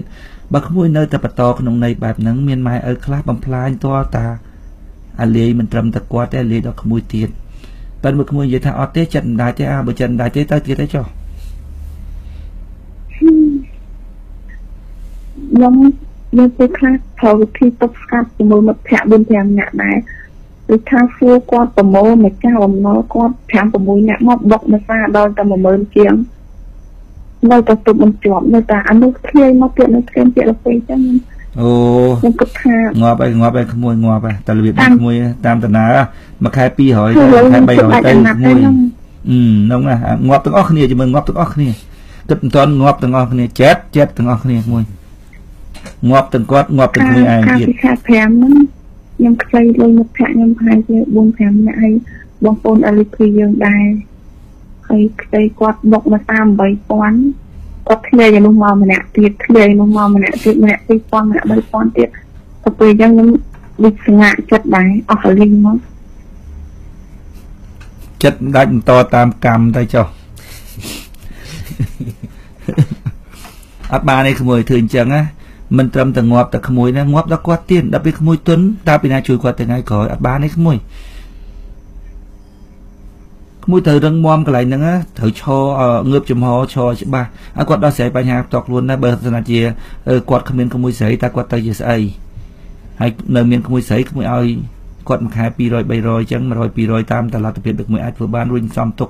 ក្មួយចិត្តមកស្រុកខ្មែរផងក្មួយ មិនមែនថាដោយពូនិយាយខាងដើមហ្នឹងថាសំទុកហ្នឹងមិនមែនដើម្បីតែខ្លួនឯងទេក៏ប៉ុន្តែដើម្បីគាត់ទៅថ្ងៃក្រោយផងក្មួយបើធ្វើអញ្ចឹងក្មួយលិចលង់តែតោលដោយសារការសម្រេចចិត្តមិនច្បាស់លាស់របស់ក្មួយហ្នឹងដដែលទៀតក្មួយចាំមើលក្មួយដល់មកស្រុកខ្មែរតាំងក្មួយតែតោលទៀតសួរតែពីណាជួយក្មួយហើយពីណាជួយគ្រួសាររបស់ក្មួយបានទេក្មួយរបៀបដែលនិយាយទៅហ្នឹងគឺមិនអាចទៅហ្មងបើម៉ែពូវិញមិនចឹងទេក្មួយម៉ែពូវិញគឺថាគាត់ ពិបាកយ៉ាងម៉េចក៏គាត់មិននិយាយមកប្រាប់កូនដែរនេះអូសកូនអត់អាណិតអសូរផងម៉ែឪរបៀបហ្នឹងគឺដឹងតែក្មួយមិនអាចជួយមិនអាចមិនអាចទេក្មួយមិនអាចទេងាប់ងាប់ចិត្តចិត្តទាំងអស់គ្នាម៉ែទេម៉ែឪចឹងពូធ្លាប់ឃើញហើយមិនបានទេកុំកុំទៅទៀតងាប់អត់គ្មានថ្ងៃស្ដាច់ស្ទែហើយម៉ែខ្ញុំគាត់គ្មានថ្ងៃស្ដាច់កតុយលេខហើយនឹងបៀហើយដល់ពេលអញ្ចឹងខ្ញុំខំទៅបានទេបានទេងាប់ខ្ញុំខ្ញុំសួម អរិថាមានមិត្តភក្តិនៅក្បែរផ្ទះឲ្យទៅជួយស្ទើបអីអញ្ចឹងហើយគេប្រាប់ខ្ញុំមកគេថតទាំងរូបឲ្យខ្ញុំមើលទៀតហើយខ្ញុំប្រាប់គាត់គាត់ថាបើខ្ញុំជឿគេមិនបាច់ទៅគាត់ជាម្ដាយទេហើយគាត់កាត់ការខ្ញុំចោលអូយម៉ែកុំនិយាយនាំអ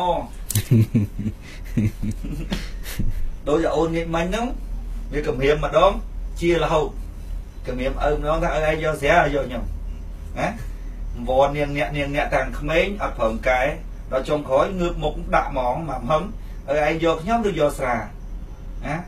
ឥឡូវមកឯងកាត់កោខ្ញុំឯងកាត់កោខ្ញុំក៏មិនកុំនិយាយនំអគាត់គ្មានកាត់កោទេក្មួយកាត់កោមិនបើកូនផ្ញើលុយរាល់ខែណាគាត់កាត់កោមិនចំហិតកូនអត់បានកាត់កោកូនអីក៏ម៉ែអាក្រក់ខ្លាំងម៉ែលោកគូវាសំតែកូនធ្វើអញ្ចឹងដាក់ម៉ែលេងម៉ែធ្វើអញ្ចឹងដាក់កូនហួសពេកមិនស្ដាប់អត់បានអញ្ចឹងដាក់អ៊ូ នេះឆ្ងាយពេកបងស្រីជួយបន្តអឡូខាងខាងខាងយើងស្ដាប់បងបានច្បាស់ហើយបងសូមជួយបន្តមកចា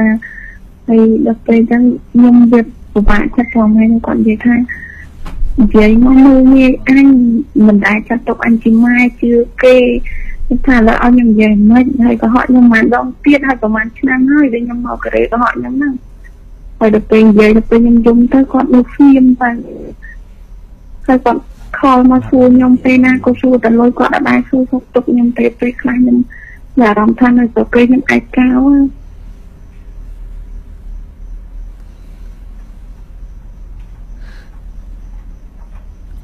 លោកបងស្រីសូមជួយបន្តទៀតទៅតិចទៀតវិញវិញខ្ញុំឆ្លើយតបទៅបងអូនចាដល់ពេលអញ្ចឹង ខ្ញុំអត់មានវិបាកអីទេមានរឿងគ្រួសារខ្ញុំហើយខ្ញុំនិយាយថាខោផ្លូវវែកចិនវាមិនឃើញសោះចង់ដាក់វិធីមិនគោពីទុកទល់ជាមួយគ្រួសារខ្ញុំគ្នាហើយណាមួយខ្ញុំចិត្តមិនដាច់នៅប្អូនខ្ញុំទូទូទៀតជួយដល់ប្អូនទៅ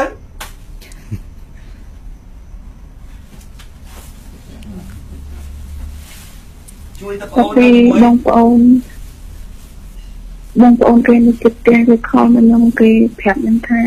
កុំឲ្យផ្ញើលុយទៅគាត់អីចឹងផ្ញើទៅម្ចាស់លុយគេប៉ាត់ប៉ាត់មកហើយទៅលុយប្អូនឲ្យបងស្រីអីចាស់ស្រីទៅបើលុយទៅម្ចាស់បណ្ដុលគេក៏មិនអីដែរក៏ម៉ែក្មួយឯងអាចទៅខ្ចីគេទៀតបានទេមិនអីទេបើកូនឯងមិនផ្ញើមកម៉ែមិនអីទេចាំម៉ែទៅខ្ចីគេឲ្យកូនឯងផ្ញើទៅម្ចាស់បណ្ដុលប៉ាត់ប៉ាត់ទៅមិនអីទេចាំកូនឯងសងអស់ម៉ែទៅខ្ចីគេទៀតមែនរឿង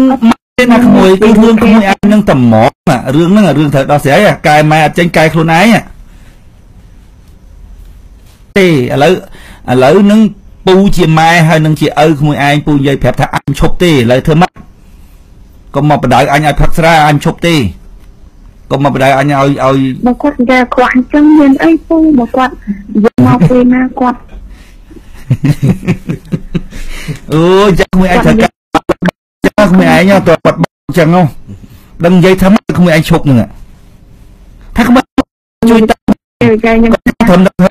ស្មាតោកុំថាធំតែគាត់នៅផ្ទះកុំថាអត់បាយអត់ទឹកថាម៉ែម៉ែម៉ែឯងវាអំណុលគេឲ្យម៉ែទៅជាប់គុកទេខ្ញុំនឹងធ្វើម៉េចខ្ញុំជួយបាន200ម៉ែយកទៅនឹងធ្វើម៉េចហើយខ្ញុំដល់ពេលខ្ញុំផ្ញើលុយឲ្យគេអស់អស់ចឹង ខ្ញុំចាក់តងលេខទូរស័ព្ទម្ចាស់លុយគេហ្មងឲ្យគេពី3000ចឹងខ្ញុំថាបើសិនជាម៉ែខ្ញុំមកខ្ចីទៀតកុំឲ្យហើយបើម៉ែខ្ញុំខ្ចីទៀតខ្ញុំអត់ទទួលខុសត្រូវទេហើយដល់ពេលទៅខ្ញុំអត់ចាត់ចែងម្ចាស់លើព្រឹបព្រឹបផ្ញើទៅគេមកខែបុកព្រឹបព្រឹបហ្នឹងហើយខ្ញុំខលទៅគាត់ស្ងាត់អត់ឃើញគាត់ខលមកខលគាត់សួរសុខទុក្ខបាយទៅគាត់និយាយនិយាយគាត់ថា មិនចាត់ទៅគាត់ជាម៉ែឲ្យគេមើលងាយម៉ែណានៅគាត់និយាយចឹងខ្ញុំឈឺក្បាលខ្ញុំអូខ្ញុំនិយាយទៅខ្ញុំដោះស្រាយម៉ែទេដោះស្រាយក្មួយឯងមិនដោះស្រាយម៉ែទេថាម៉ែប៉ុណ្ណឹងហើយដោះស្រាយក្មួយឯងដោះស្រាយក្មួយឯងចេញពូបាត់ទូរស័ព្ទលើខ្ជិលហ៎នៅតែមកនិយាយថាត្រូវដោះមិនដោះមិនដោះចេញទេម៉ែនឹងថានៅតែផឹកនៅតែភូតនៅតែលេងបៀននៅតែលេងលបែងចឹងម៉ែគឺចឹងម៉ែគឺចឹងគ្មានដោះមិនឥឡូវខ្ញុំឈប់ហើយព្រោះ ខ្ញុំគិតថាមានមិត្តភក្តិខ្លះគេឲ្យមតិគេថាអូយឲ្យតម៉ាក់ម៉ាក់ហ្នឹងទៅខ្មែរដល់ក្តៅទៅទេហើយអឺមកត្រូវហើយត្រូវហើយត្រូវហើយត្រូវហើយថាអូឥឡូវអញចាប់ថ្ងៃតែអញឆ្ងល់ទៅមកចាយបានអញឈប់ដឹងឈប់លើទៅពេលទៅខ្លាំងក៏គិតចុយអញធ្វើចឹងខុសអត់ទេអូយពេលឡើយនឹងធ្វើមិនងាប់ទាំងអស់គ្នាឡើយជួយគាត់អត់បានហើយងាប់ទៀតងាប់ទាំងឯងទៀតចាំមើលបំចំ ចេញអាផ្លូវនោះហើយម៉ែឪដល់តែថ្នាក់ទាលុយកូនអត់ដឹងពីសុខទុក្ខរបស់កូនប៉ុណ្ណឹងហើយក្មួយម៉ែឪនេះគឺថាជន់កូនបលិចគ្មានស្គាល់អីទៅមកខ្ញុំតាំងពីដឹងតាំងពីដឹងក្តីមកតាំងពីតូចនិយាយទៅនិយាយសរុបមកជិតឥឡូវខ្ញុំអាយុ20ឆ្នាំដឹងក្តីមកឃើញតែប៉ាខ្ញុំផឹកឃើញតែម៉ែអើយខ្ញុំវាយគ្នាខ្ញុំមិនដែលទទួលធ្វើគាត់ផ្ដាំគ្រួសារខ្ញុំទេ ដល់ពេលហើយគាត់វាយខ្ញុំគាត់ធ្វើបាក់ខ្ញុំប៉ុណ្ណឹងខ្ញុំមិនដាច់ចិត្តពីគាត់ខ្ញុំនៅតែឃើញមកគាត់ភ្លឺភ្លឺភ្លឺភ្លឺហើយខ្ញុំចង់ចង់សួរពូថាម៉េចខ្ញុំចង់សួរថាធ្វើម៉េចឲ្យដាច់ហ៎បើថាចង់ធ្វើម៉េចឲ្យដាច់លេបថ្នាំលេបដាក់ឲ្យទៅហ្មង5ឆ្នាំចាំងើបដាក់ឲ្យទៅហ្មងទៅដាច់ចឹងថាបើសិនជាខ្ញុំបើសិនជាខ្ញុំផ្ដាច់ការជាមួយគាត់អញ្ចឹងណាខុសអត់មើលខ្ញុំ ទៅហ្នឹងព្រោះខ្ញុំទៅខ្លះងាប់ឆាប់ខ្ញុំចេះអង្គុយសួរខ្លួនឯងថាអញទៅអញ្ចឹងត្រូវអត់ក្មួយអាទៅសួរពួកឯងពួកឯងថាងាប់ទាំងអស់គ្នាអញ្ចឹងខ្ញុំសុខចិត្តឲ្យរស់ងាប់ទាំងអស់គ្នាក្មួយបើងាប់ក្មួយឯងជួយគាត់រស់មានឯងងាប់ទាំងអស់គ្នាហ្នឹងចាំងាប់ទាំងអស់គ្នាបើថាងាប់ក្មួយឯងរស់គាត់រស់មានអីងាប់ទាំងអស់គ្នាបើក្មួយឯងសំលុយនឹងទុកគឺរស់ទាំងអស់គ្នាមើលស្ដាប់តន់អត់ ពេលណាក្មួយឯងមកស្រុកខ្មែរក្មួយឯងរស់ស៊ីបានក្មួយឯងចាំគាត់រស់ទាំងអស់គ្នាលេខទូរស័ព្ទមកហឹមក្មួយឯងបានធ្វើអស់ហើយក្មួយក្មួយបានធ្វើអស់ហើយក្មួយពូចេះតែនិយាយរាល់តដងថាធ្វើរឿងអ្វីដែលក្មួយគួរធ្វើឲ្យអស់រួចហើយទុកឲ្យធម្មជាតិនឹងរៀបរយទៅក្មួយបានធ្វើអស់ហើយក្មួយសំបំណុលចង់មកហើយក្មេងស្រីផងក្មួយចិត្តរៀបរយគ្រូសាខ្ញុំមកលាយហ្នឹង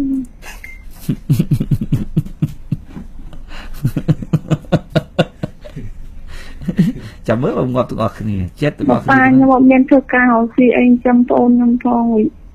វិញដូចពួកឯងនិយាយម្ដងម្ដងខ្ញុំមកឃើញគ្រូសាខ្ញុំញៀងរត់រំអ្នកហ្នឹងក្មួយឯងមើលឯងយល់ថាគាត់អាចរត់ឲ្យបែបតែបានបើសុំងាប់ទាំងអស់គ្នាអញ្ចឹងខ្ញុំមិនសុខចិត្តងាប់មួយគាត់ទេខ្ញុំសុខចិត្តនឹងមិនអញ្ចឹងទេក្មួយមិនសុខចិត្តងាប់មួយគាត់ទេក្មួយ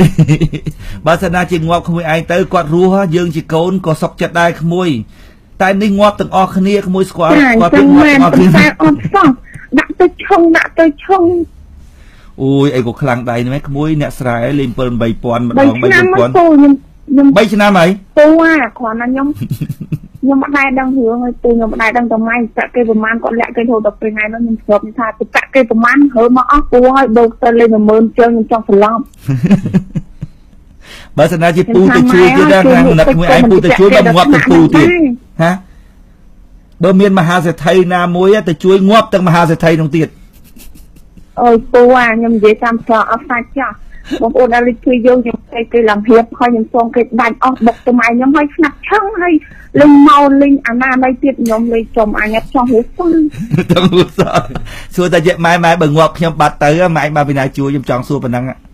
ម៉ែធ្វើដល់ថ្នាក់ហ្នឹងម៉ែនិយាយនិយាយរាល់ថ្ងៃបើស្នាជាងាប់ខ្ញុំបាត់តើបែរឯងមកពីណាជួយហា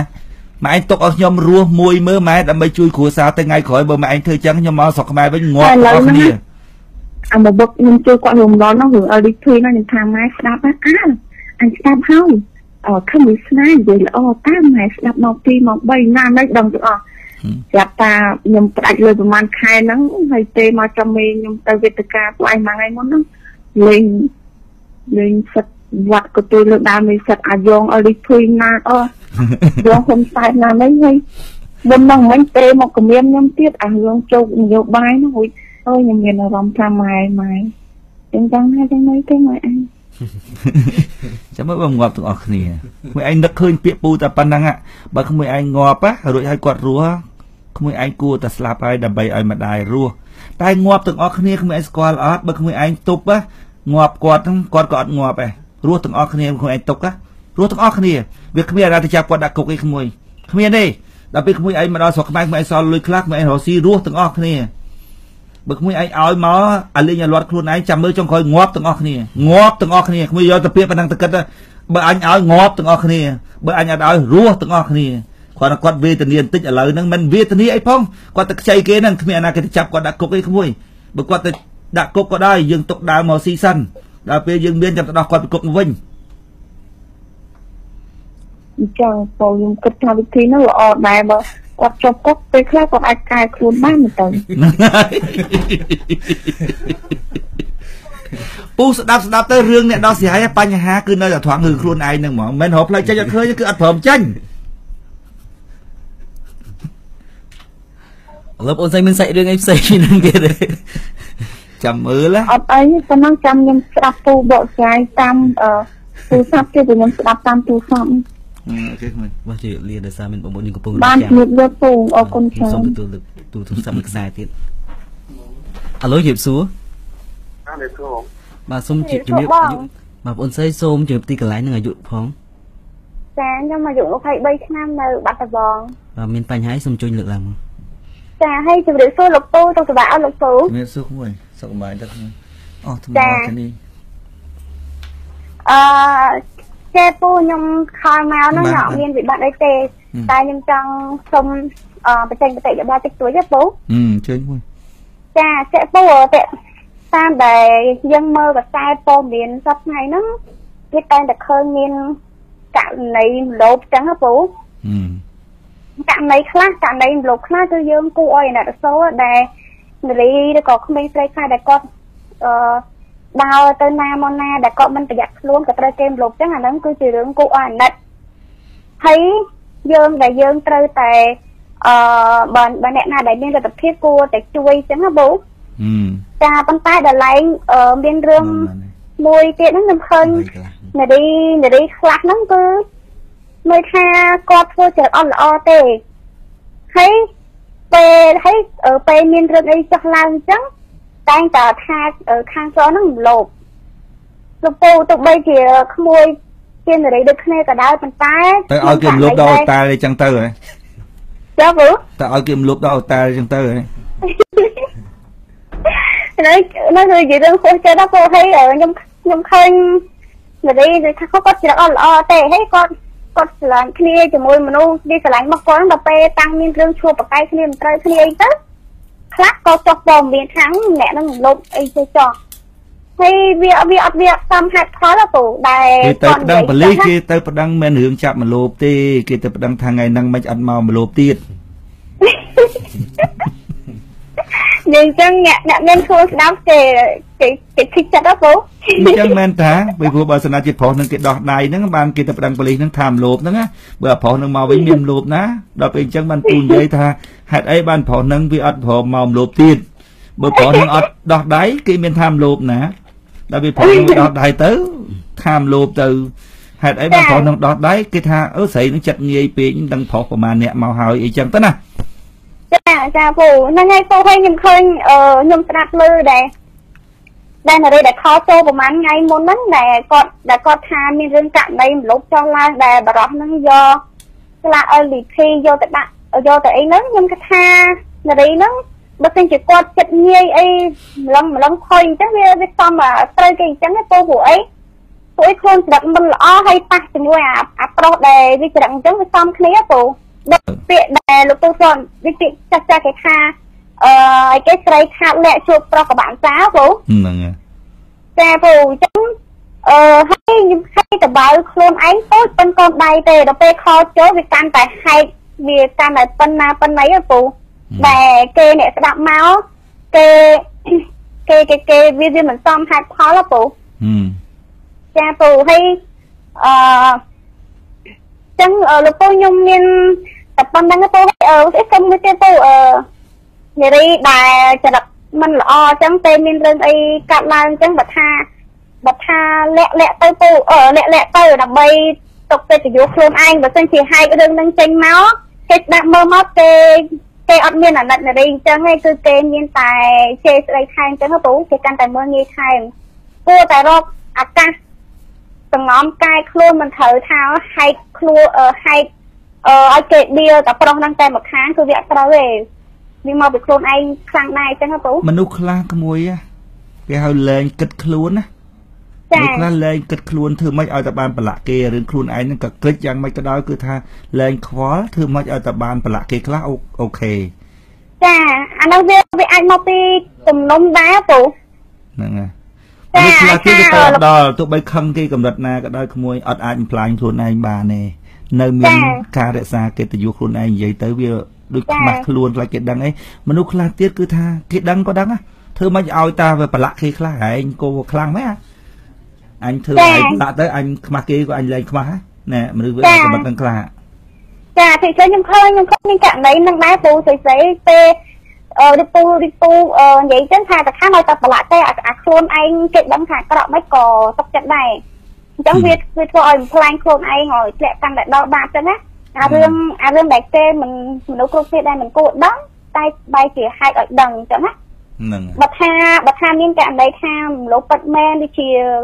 អឺបើវាករណីលោកមែនតើតាមម្ដងគេរច្បាប់ប្រអីប្តឹងពូអានោះមានថាគាត់ទុកចិត្តខ្មាស់គេថាទៅម្នាក់នោះលោកមែនតែគេរកច្បាប់ទៅមិនប្តឹងបរោះហ្នឹងឲ្យជាប់គុកអាមួយនោះឲ្យចាប់គុកចឹងទៅ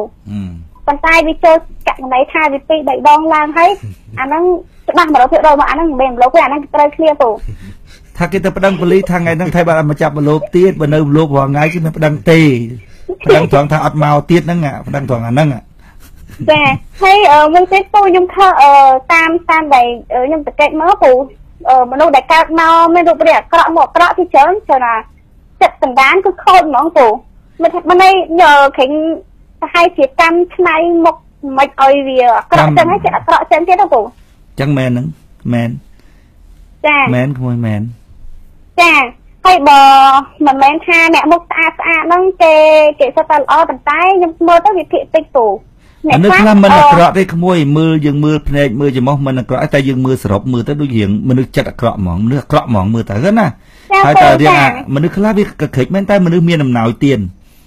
មកយើងយើងមើលទៅអត់អីទេមនុស្សខ្លះវាវាភ្នែករូបរាងនឹងមកគឺវាអាក្រក់នឹងហ្មងអាក្រក់របៀបមនុស្សអាក្រក់នឹងហ្មងចាអានឹងជាកម្មមជ្ឈរូបអីក្មួយជាកម្មឆ្នៃរូបចាចាពូអឺហ្នឹងហើយពូដូចពូនិយាយនិយាយនិយាយនិយាយអញ្ចឹងគឺគឺត្រូវហ្មងយើងមិនមែនថាយើងមើលសម្រាប់ហើយគឺយើងមើលមុខមើលមាត់មើលភ្នែកទម្រង់មើលទៅអាក្រក់ហ្មងហ្នឹងគឺអាក្រក់ហ្មងពូមើលទៅមើលអាក្រក់ហ្មងតើនិយាយអីយើងមើលដឹងថាមនុស្សហ្នឹងអាក្រក់ហ្មងចាពូដូចអឺអ្នកអ្នកខាងដូចដូចប្រធាន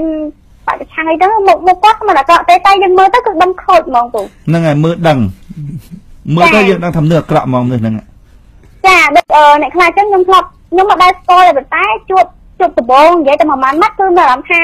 គឺអត់ចូលចិត្តហ្មងគ្រាន់តែនិយាយតិចដឹងថាអូមើលទៅខូចយ៉ាងកន្លាហហ្មងមើលអាក្រក់ហ្មងមុខនឹងមុខអាក្រក់មើលភ្នែកមើលមើលចំហាយចេញតាមរួមស្បែកមកហ្នឹងគឺដឹងថាមនុស្សអាក្រក់ហ្មងចា ហើយពាក្យមួយគេថាចេះពូគេគេតែងតែលើកគ្រប់គ្នាលើកមកជាទិសដីថាពុំពុំមើលមនុស្សតែពីច្បកក្រៅខ្ញុំអាអាកំណត់ហ្នឹងវាមិនត្រូវវាមិនត្រូវទាំងអស់ពូខ្ញុំខ្ញុំបាក់ខ្សែអាពាក្យហ្នឹងហ្មងហេត្រូវខ្លះដែរក្មួយហើយក៏វាមិនទាំងអស់ដែររឿងមើលមើលមើលមើលមើលរឿងសបកក្រៅមើលមើលឃើញត្រូវដែរតាក្មួយចាម៉ែពូក៏ថាសម្ភារៈបច្ចៈសតិអារម្មណ៍កូន វាស្លៀកពាក់វាតែងខ្លួនមកចរិតរឹកពៀនហ្នឹងគឺសរំរបស់វាចឹងកូនត្រូវ80%កូនលើកលែងថាវាមានករណីខ្លះចាំបាច់ដែលគ្នាហ្នឹងវាវាត្រូវអារូបរាងការតបតែងឬក៏អត្តចរិតខាងក្រៅហ្នឹងណាវាត្រូវសំដែងបែបហ្នឹងក្នុងកលៈទេសៈខ្លះប៉ុន80 70%ហើយត្រូវរឿងរឿងខាងក្រៅហ្នឹងកុំមើលលើខាងក្រៅមិនមើលត្រូវអត់ខុសឲ្យក្មួយវាគួបផ្សំដើម្បីឲ្យយើង សង្កេតទៅខាងក្នុងថែមទៀតចាពូ ហ្នឹងហើយអូពាក្យពាក្យអាអាពាក្យឆ្លោហ្នឹងគឺវាមិនទៅទាំងអស់ហើយហើយអឺអ្នកខ្លះទៅខ្លួនឯងធ្វើអីខុសចឹងឬក៏ធ្វើខ្លួនណាតុបតែងធ្វើរបៀបថាមកទៅមិនតំណងមកដល់ពេលគេថាអូឯងតែខ្លួនចឹងវាមិនសមអីទេមិនតំណងឆ្កងគេមើលមកទេចាអឺកុំបាយតម្លៃមនុស្សតាមក្រៅអញ្ចឹងដាក់ស្រាប់ទៅដាក់ស្រាប់ទៅប្រាប់គេថាកុំបាយតម្លៃសម្បកក្រៅ ចាហើយលពូអញ្ចឹងក្មួយមានតែប៉ុណ្្នឹងឯងពូអញ្ចឹងអរគុណលពូជម្រាបលាអរគុណជំរាបលាក្មួយជម្រាបបងស្រីខ្ញុំសូមបញ្ជាក់បងប្អូននៅទៀតដែលកំពុងតាមដានស្ដាប់កម្មវិធីផ្សាយផ្ទាល់របស់យើងថាកម្មវិធីរបស់យើងគឺមានរយៈពេល2ម៉ោងចាប់ពីម៉ោង7ដល់ម៉ោង8យប់ឥឡូវយើងនៅសល់ពេលជិតកន្លះម៉ោងទៀតសម្រាប់បងប្អូនដែលចង់ហៅចូលកម្មមកកាន់កម្មវិធីរបស់យើងគឺបងប្អូនហៅមកកាន់តាមរយៈតាមទូរស័ព្ទចំនួន2ខ្សែខ្សែទី1គឺ078 700 191 ខ្សែទី2គឺ093 700 191ឥឡូវដោយសារមានបងប្អូនយើងហៅមកហើយខ្ញុំសូមលើកតែម្ដងខាងប្រព័ន្ធ012អាឡូយេបសួរអាឡូយេបសួរអាឡូលើសូមជំរាបទីកន្លែងនិងអាយុផងហើយខ្ញុំខលពីវិទ្យាញជ័យទៅអាយុប្រហែលហ្នឹងអឺខ្ញុំឈ្មោះបរ៉េត ខលពីវិទ្យាញជ័យជួយជួយជួយប្រាក់អាយុ41ហ៎អូ41វត្តស្នេហាសុំជួយខ្ញុំខ្ញុំអាយុប៉ុន្មានមានរឿងរឿងរ៉ាវរឿងក្នុងគ្រួសារទេបងសុំជួយខ្ញុំរឿងរ៉ាវក្នុងគ្រួសារតោះចាស់ងាប់ប៉ុន្តែនិយាយបងខ្ញុំមានរឿងរ៉ាវច្រើនតាំងពីមុនមកអូនហ្នឹងខ្ញុំ ខ្ញុំមានគ្រួសារមួយដែលមានប្រព័ន្ធប៉ុន្តែខ្ញុំទៅនៅជាមួយនឹងក្រុមគ្រួសារណាបងហើយបើនិយាយរឿងថាតំណែងតំណងខ្ញុំជាមួយប្រព័ន្ធអប្រព័ន្ធរបស់ខ្ញុំហ្នឹងគឺគឺកើតកើតឡើងពីដំបូងឡើងហ្នឹងតាមរយៈនៃបើថាថាថាជារកពលពោចហ៎ចេះតែនិយាយជាលេងទៅជាប់ទៅតែទៅវាជាប់ចូលជាមួយបញ្ហាហ្នឹងហើយដល់វាជាប់បញ្ហាហ្នឹង ខ្ញុំចេះតែសង្កេតមើលឃើញណាគឺនេះថាគឺមានលក្ខណៈមួយដែលថាដែលធ្វើឲ្យយើងអាណិតណាប៉ុន្តែមិនដឹងជាវាអាផែនការរីករាយរៀបចំទេតែខ្ញុំជាឃើញថាលក្ខណៈដែលធ្វើអាណិតហ្នឹងជាតែចូលក្នុងសកម្មភាពមួយហ្នឹងចឹងអត់ថារហូតដល់ការទៅរបស់គេហ្នឹងបាទអឺដល់ពេលខ្ញុំឃើញថាតំណែងតំណងមកវាគេមើលទៅតែបែរថា វាមានបញ្ហាក្នុងគ្រួសារដូចគេគឺចង់អឺជីកបីច្រឡំផងទៀតហ្មងខ្ញុំឃើញអញ្ចឹងខ្ញុំថាមិនអីទេខ្ញុំជឿជាក់លើអាអាអាភាពស្មោះត្រង់របស់ខ្ញុំហ្នឹងខ្ញុំថាខ្ញុំអាចកែមនុស្សនឹងបានហើយឬអាចធ្វើឲ្យមនុស្សហ្នឹងអាមានលក្ខណៈកែប្រែគឺតាមទម្រង់ដែលខ្ញុំចង់បានណាបងហ្នឹងដល់ពេលយើងការរួចទៅ ពេលមិនចឹងតែមានកូនហ្នឹងមានអត់អីទេបងនៅជាលក្ខណៈមួយថានៅតែសន្តោសស្រួលគ្នាអាចនិយាយគ្នាបានខ្លះតែដល់ពេលខ្ញុំមានកូនមួយហ្នឹងគេគេយកអាកូនហ្នឹងគឺជាបែបនេះថាអជាមុខព្រួយសម្រាប់សង្កត់ខ្ញុំណាបងតែខ្ញុំថាអីទេគឺថាអ្វីអ្វីដែលថានៅក្នុងគ្រួសារហ្នឹងគេ ជាតិមិនចុះសម្រងក៏មានឡើងច្រើនណាបងរហូតដល់ថាយើងនិយាយគ្នាស្ដាប់បានតែថាខ្ញុំពីមុនខ្ញុំជម្រាបថាខ្ញុំបានស្ដាប់ទៅអក្នុងប្រព័ន្ធ LEC ហ្នឹងហើយនឹងខ្ញុំយកអាទិស្ដីហ្នឹងទៅវិជ្ជាជាមួយនឹងប្រព័ន្ធរបស់ខ្ញុំហ្នឹងហើយជាមួយនឹងគូសាររបស់ខ្ញុំប៉ុន្តែអ្វីដែលខ្ញុំទៅជ្រាបចូលប្រហែលហ្នឹងគេគ្រាន់តែដឹងទេណាគេគ្រាន់តែដឹងថា គេអត់មានថាស្វែងខ្វល់អីជាមួយយើងយើងធ្វើអីទៅទៅហើយគេមិនខ្វល់អីជាមួយយើងបើថាចរិតឪពុកម្ដាយហើយនឹងប្រព័ន្ធហ្នឹងគេជាលក្ខណៈមួយថាជាមនុស្សស្មារតីយើងទៅហើយហើយយើងដល់ពេលយើងទៅជាមួយមនុស្សប្រភេទអញ្ចឹងវាវាតឹងទ្រូងរាល់ថ្ងៃរហូតដល់ថាមានកូនមួយដែលកូនខ្ញុំបានស្លាប់ទៅលើកទី1ប៉ុន្តែអារឿងកូនលើកតនេះវាមិនដឹងជាយ៉ាងម៉េចវាចៃដន្យបានមានកូនមួយទៀតហើយ ខ្ញុំព្យាយាមចាក់ចេញពីក្រុមគូសានឹងជាតែជា3ដងហើយប៉ុន្តែខ្ញុំទៅអត់រួចរឿងអីរឿងអីបានតើរួចមើលជាពាក់ជាពាក់នឹងកូនហ្មងខ្ញុំសំនឹងមនុស្សស្រីគេបោកយកកូនទុកចងនឹងមែនត្រូវត្រូវបើបងវិញបងអូនច្រឡំខុសហើយអូនអត់សោះអូនអត់សោះកុំយក បងមកបោកយកកូនរួចហើយចងជើងណារួចហើយចង់ធ្វើអីតាមចិត្តណារឿងកូនបងនៅតែទទួលខុសត្រូវអូនចាំក៏បានបងជួយលុយឬក៏អូនអត់ចាំទេអូនឲ្យមកបងក៏បានអត់អាចខុសឬត្រូវឲ្យបងទូទាត់លាត់សោយព្រោះរឿងកូននេះអូនច្រឡំធំហើយមនុស្សបងអត់ចឹងទេហើយបើអូនថាអឺខ្ញុំនឹងវាអត់ដាច់នឹងញយដងនឹងដោយសារតែរឿងកូននឹងនាងនឹងគិតត្រូវត្រូវហ្មងត្រូវហ៎ បើបងនឹងដាច់ស្គយនេះអត់មានរឿងអីធំទេបិចបិចមកដល់ព្រឹបពួកម៉ាសាំងហាអញអាណិតហើយខ្ញុំគិតអាណិតឈួតអីទេហាតោះទៅរកស៊ីផាត់អីណាតោះរឿងបិចកប៉ុកអីគ្មានអីរឿងអីផងថ្ងៃក៏មកចង់អញអីអីអញរឿងចឹងចឹងអីប្រយបាត់ខ្ញុំខ្ញុំខ្ញុំមានរឿងចេះបងអឺកាលកូនលើកទី1ហ្នឹងខ្ញុំសម្រេចចិត្តថាដើរចេញណាបងកូនលើកទី1ហ្នឹងខ្ញុំសម្រេចចិត្តទៅដើរចេញកូនខ្ញុំអាយុប្រហែលជាមួយខួបកន្លះ ខួបកន្លះនេះខ្ញុំសម្រេចដើរចេញដល់ពេលខ្ញុំដើរចេញគេមិនវិរវល់ទៅវិរវល់នឹងកូនអញ្ចឹងខ្ញុំចេះតែស្ដីទោះគ្នារហូតដល់រឿងកូនហ្នឹងហើយដល់ពេលហ្នឹងខ្ញុំក៏សម្រេចចិត្តចេញកាលណាខ្ញុំចេញទៅបែរបានជាក្នុងមកអពីអាទិត្យហើយត្រឡប់មកវិញកូនក៏មានបញ្ហាដែរកូនទៅវាវាឈឺឈឺដែលនៅបានដល់ហ្នឹងបងដល់ពេលនេះគឺទៅស្លាប់ទៅកូនស្លាប់ទៅ យកមកអូនយកមកយកកូននឹងមកយកអត់បានបងឥឡូវកូនក្រោយមួយទៀតគឺមើលតែកូនអាមេរិកទៅទៀតយកមកទៀតបាត់លើនឹងចាំឲ្យរៀនទៅនឹងឡើងតុលាការទៅបងយកមុនហើយចាំទឹកដីនៅតុលាការទៅបើខ្ញុំខ្ញុំដោះស្រាយទៅហើយបងប៉ុន្តែអាការដោះស្រាយរបស់ខ្ញុំហ្នឹងវានៅតែវានៅតែវាតឹងទ្រូងកងហើយអញ្ចឹង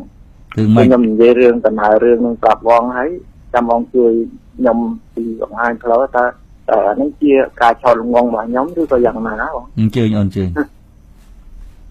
ដល់ពេលកូននៅក្រោយហ្នឹងខ្ញុំគិតថាទេអ្នកនេះបើសិនជាខ្ញុំគិតណាថាបើចេញជាយើងអាចទាញវាចេញពីឪពុកម្ដាយឬក្រុមគ្រួសារវាមកបានតែជាលក្ខណៈតែពីព្រោះខ្ញុំគង់មើលឃើញសន្តានវាមិនមែនជាមនុស្សស្រក់ទេប៉ុណ្ណាហើយប៉ុណ្ណាហើយអូនប៉ុណ្ណាហើយ ប្រពន្ធខ្ញុំនិយាយរឿងប្រពន្ធហ្មងអូប្រពន្ធណាបាទដល់ពេលអាដល់ពេលអញ្ចឹងទៅខ្ញុំថាខ្លាចតែវាមានទៅថាដូចមានរបួសកូនមួយអញ្ចឹងវាអាចកែបានណាបងដល់ពេលហ្នឹងគាត់ហើយមិនដឹងជាមានមូលហេតុណាទេខ្ញុំក៏មិនដឹងដែរវាជាការពេលប្រហែលមិនដោយមានកូនមួយទៀតហ្នឹងតែកូនទី2នេះកូនទី2នេះអាយុ2ឆ្នាំកន្លះក៏ហើយខ្ញុំក៏បានព្យាយាមចេញ3ដងហើយរហូតដល់ឥឡូវនេះក៏នៅតែ ចាប់ដល់តែចេញដែរវាអត់ត្រូវគ្នាអញ្ចឹងហ្នឹងអញ្ចឹងដល់ពេលចេញទៅខ្ញុំចេញទៅប្រហែលជាបានជាមួយខែចេញទៅមួយខែវាមានរឿងកូននឹងវាចេះតែឈឺនេះឈឺនោះចេះខ្ញុំក៏ចេះតែមកវិញទៅតែថាឥឡូវនេះខ្ញុំថាហើយម្យ៉ាងទៀតពេលចេញទៅនោះបងអាអាទៅដែលធ្វើឲ្យខ្ញុំពិបាកជាងគេនោះគឺខ្ញុំនៅកូនតែដងបាទយកមក ចុះគេប្រពន្ធគេយកបានយើងប្តីមិនយកអត់បានពោវាមកណាមកផ្ទះយើងមកណាវាមិនពោពោយើងបានហ្មងប៉ុន្តែដល់ពេលនិយាយកូនវិយមអីទៅខ្ញុំវានឹកឃើញថាក៏ប៉ុណ្ណឹងដោះស្រាយមួយរួចប្រឹងធ្វើដែរបែអដល់ពេលអញ្ចឹងខ្ញុំដោះស្រាយចេះបងខ្ញុំថាឥឡូវយើងនៅជាមួយគ្នានៅបានថែរក្សាកូនទាំងអស់គ្នា ឥឡូវការងាររបស់ក្នុងគ្រួសារឯងឯងអ្នកធ្វើតើឯងអ្នកចាត់ចែងគ្រួសារអត់មានពាក្យប៉ុននឹងខ្ញុំទៀតទេខ្ញុំនិយាយប្រាប់ប៉ុនខ្ញុំណាហើយការងាររបស់ខ្ញុំខ្ញុំធ្វើការងាររបស់ខ្ញុំហើយមិនអោយអ្នកឯងមកពាក្យប៉ុនមួយការងារខ្ញុំទេរឿងកូនចៅខ្ញុំមើលខ្ញុំថែជួយថែជួយមើលទាំងអស់គ្នាតែសំខាន់ដូចជាខ្ញុំធ្វើគ្រូបង្រៀនអញ្ចឹងខ្ញុំប្រាប់គេថាយើងយើងខ្ញុំសុំគេបាយគេមិនព្រមបាយ សុំសុំគេណែបាយពីគ្រួសារចាស់របស់គេហ្នឹងក៏គេមិនបាយគេថាវាចេះចោះចេះចោះវាមិនបាយដល់រហូតវាមិនសមចឹងណាតែខ្ញុំថាឥឡូវអញ្ចឹងយើងបែកគ្នាទៅយើងយើងនៅរបៀបដូចជាមិត្តអញ្ចឹងទៅនៅណានៅផ្ទះម៉ែឪខាងស្រីហ្នឹងបាទនៅនៅផ្ទះខាងស្រីប៉ុន្តែខ្ញុំទៅបាយនៅស្នាក់ការហ្នឹងបង ខ្ញុំហូបបាយខាងក្រៅខ្ញុំអត់ហូបបាយជាមួយក្រុមគ្រួសារគេហ្នឹងទេទេហើយលុយចាយអីពីគ្រប់ទាំងអីគឺខ្លួនខ្ញុំរឿងទាំងអស់ហ្នឹងប៉ុន្តែពេលដែលខ្ញុំចូលមកដល់ផ្ទះហ្នឹងការវិធីដោះស្រាយរបស់ខ្ញុំខ្ញុំដោះស្រាយថាយើងចាយរៀលៀងខ្លួនមើលថែកូនរៀងខ្លួនតែប៉ុណ្្នឹងហើយព្រោះខ្ញុំមានពេលខ្ញុំអត់មានការងារអីធ្វើទេខ្ញុំនៅថែកូនថែកូនអញ្ចឹងតែបើខ្ញុំមានការងារធ្វើខ្ញុំចេញទៅធ្វើអញ្ចឹងវាអត់យើងអត់មាននិយាយថាអត់ឲ្យមានរំលោភឬក៏អត់ឲ្យមានកិច្ចការណាណាដែលពាក់ព័ន្ធនឹងខ្ញុំកិច្ចការខ្ញុំមិនឲ្យគេលូកដៃចូលទេខ្ញុំដោះស្រាយតែហ្នឹងឥឡូវនេះប៉ុន្តែខ្ញុំចូលមកនៅក្នុងផ្ទះហ្នឹងវាវានៅជាមួយគេមែនមើលថែកូនហ្នឹងមែនប៉ុន្តែទ្រូងរបស់ខ្ញុំនៅវាតឹងរាល់ថ្ងៃបងតឹងរឿងអីខេសម្រាប់ថាចឹងហើយមិនតឹងទៀតហើយខេសម្រាប់ឲ្យវធូហើយមិនទៅតឹងទៀតហើយ យ៉ាតាំងពីសម្រាប់មកអត់មានតឹងអត់មានធូរទេបងហើយបើអត់មានធូរបងមិនសម្រាប់ធ្វើអីផ្លូវហ្នឹងមកផ្លូវផ្សេងទៀតគេសម្រាប់ឲ្យធូរហើយគេយើងមិនឃើញបងអោបកូនចេញផ្ទះយើងមកទៅត្រង់ណាមិននេះអត់មានទាន់និយាយអីផងនេះថែរក្សាកូនរៀងរៀងខ្លួននោះស្រាប់តែនៅតឹងតឹងតឹងរឿងអីថាងទៅដល់ផ្ទះនោះខ្ញុំថាលេងអឺដូចថាពាក់ព័ន្ធគ្នាស្រាប់តែជេរខ្ញុំទៀតស្រាប់តែអីទៀតអត់ទាន់ឃើញប្រាប់រឿងតឹងអីផង គ្រាន់តែសម្រាប់ថាចឹងហើយក៏រស់នៅចឹងទៅប៉ុន្តែខ្ញុំទៅផ្ទះខ្ញុំនៅតឹងតឹងរឿងអីវាចេះបងពេលញ៉ាំដែលខ្ញុំដើរចូលផ្ទះហ្នឹងបងពេលខ្ញុំដើរទៅធ្វើការងារអីចឹងមួយថ្ងៃទៅពីរថ្ងៃមកវិញកូននឹងមានបញ្ហារហូតចឹងខ្ញុំមកមើលធ្វើថាសកម្មភាពរបស់គេណាកូននឹងក៏មានតែបញ្ហានឹងម៉ែវាបញ្ជាក់ឆ្នាំមកវាមានបញ្ហាទេអីគាត់ដើរទៅមួយថ្ងៃពីរថ្ងៃកូនជាធម្មតានោះក៏អត់មានបញ្ហាអីសោះហើយកូនយើង ស្អីអត់ទៅចេញមួយថ្ងៃពីរថ្ងៃមានបញ្ហាមានម៉ែពេញម៉ែម៉ែវាជ្រក់ឆ្នាំមកពុលទេអីមិនចឹងអត់យល់វាចេះបងវាគិតតែពីធ្វើការងារឲ្យក្រុមគ្រួសារចាស់របស់វាណាម៉ែម៉ែឪវាហ្នឹងវាមិនសូវមានពេលមើលកូនខ្ញុំឆ្លោះតែរឿងហ្នឹងឯងអើបើថាចឹងយកដាច់មកយកដាច់មកក្រៅមកគ្មានរឿងគេសោះរឿងតែខ្លួនឯងយកដាច់មកក្រៅមកយោយោយ៉ាងម៉េចបងបើសិនតែគេមិនឲ្យយើងអូហើយចុះក៏អូនឯងក៏មិនថាអញមកឲ្យដែរវិញទៅ មិនប្រពន្ធនឹងថាអើយឲ្យជួយយកកូនអញតិចមកហេយកមិនប្តីអញគេថាគេមកឲ្យដែរឲ្យវាទៅអញ្ចឹងវិញណាចុះវិធីមួយគឺតែយើងប្តឹងទៅតុលាការអេប្តឹងអីយកហ្មងទៅចាំឲ្យវាប្តឹងយកមកពីព្រោះវាអត់មានថែសារបងអូនយើងយកហ្មងណាថ្ងៃណាមួយដឹកកូនទៅរៀនយកទៅដាត់ទៅបាត់យកទៅបាត់ហ្មងហើយគេមកគឺដឹងតែពីអត់ឲ្យដល់អត់ឲ្យគេប្តឹងទៅតុលាការមមតបាននឹងដូចចេះតិចឆ្នាំទេមមតឡាការកាត់ក្តីឲ្យទៅខាងណានោះ ហើយបើអត់ចេះមើលអញ្ចឹងបំបានមកអូនឯងនឹងឯងមានបានទៅពីណាបានមកអូនឯងនឹងតបងដៃយកចេញមកហ្មងជិះម៉ូតូយកចេញទៅដាក់ផ្ទះម៉ែផ្ទះយាយទៅអីណាបាត់ទុកហ្នឹងហ្មងហើយដល់ពេលគេមកយកវិញហាអត់ឲ្យហើយចុះអូនឯងទៅយកគេថាអត់ឲ្យហើយចុះអូនឯងឪពុកដែរនេះមិនគុំចេះថាអត់ឲ្យវិញដែរទៅអត់ឲ្យហើយអូនឯងនិយាយប្រាប់ហេតុផលទៅឲ្យមិនបើកូនជាតិទៅឈឺកូនរបស់ខ្ញុំណាបងភាកច្រើនគឺនៅជាមួយខ្ញុំ ប៉ុន្តែពេលយប់វាត្រូវតាមម៉ែវាតែពេលពេលថ្ងៃខ្ញុំយកទៅណាក៏បានដែរវាតាមតែខ្ញុំស្រួលណាស់លោកអើយលោកគេបិឆោតយកពីកូរ៉េមកដល់ស្រុកខ្មែរបានផងឯងនៅស្រុកខ្មែរយកមិនបានមានអីបាក់អីតិចសោះអត់មានអីបាក់តិចសោះយកទៅដាក់ផ្ទះម៉ែទៅរឿងពេចប៉ុកនេះបើសិនជាបងវិញឮតែរឿងចឹងចឹងអូនបើគេមកប្រាប់ទាំងហែងមានបញ្ហាដឹងបញ្ហាក្តិតអាចអីទេហាគ្រាន់រឿងចឹងហើយក៏មិននិយាយតោះទៅស៊ីបាយល្ងាចតោះអញចេះដោះស្រាយរឿងពេចប៉ុក យកមកទុកផ្ទះបាត់ចិញ្ចឹមបើថាប្រពន្ធចង់បានទៅប្តឹងតឡាការមិនចេះតិចខែតិចឆ្នាំទេហើយមិនមែនថាប្តឹងចេះតែឈ្នះយើងទេណាវាគ្មានប្តឹងទេហើយបើបើគេមកយកវិញប្រាប់ថាអូនឯងហេតុអីបានបងអត់ឲ្យពីព្រោះអូនឯងជាអត់ចេះមើលកូនចេះតែឈឺអញ្ចឹងបងអត់ឲ្យទេលើកមុនងាប់មួយហើយហ្នឹងគ្រាន់តែប្រាប់ប៉ុណ្ណឹងទៅតុលាការបើប្តឹងមែននោះឈ្នះយើងទេយកមកប្រុចមកយកមកដាក់ផ្ទះម៉ែយើងមកបើអត់មាននេះឪឪហើយកូនដឹកទៅណាថុកថុកទៅរៀនរោមនឹងម្នាក់មើល ស្រួលផុតដោយអត់មានអីពិបាកទេបាទយកមកខ្ញុំអាចអនុវត្តវិធីហ្នឹងប៉ុន្តែខ្ញុំវាពិបាករឿងគេថាមើលកូនយើងហ្នឹងហ៎បងយីអូនឯងខំប្រឹងធ្វើរឿងអីមើលអានឹងរបស់យើងផលិត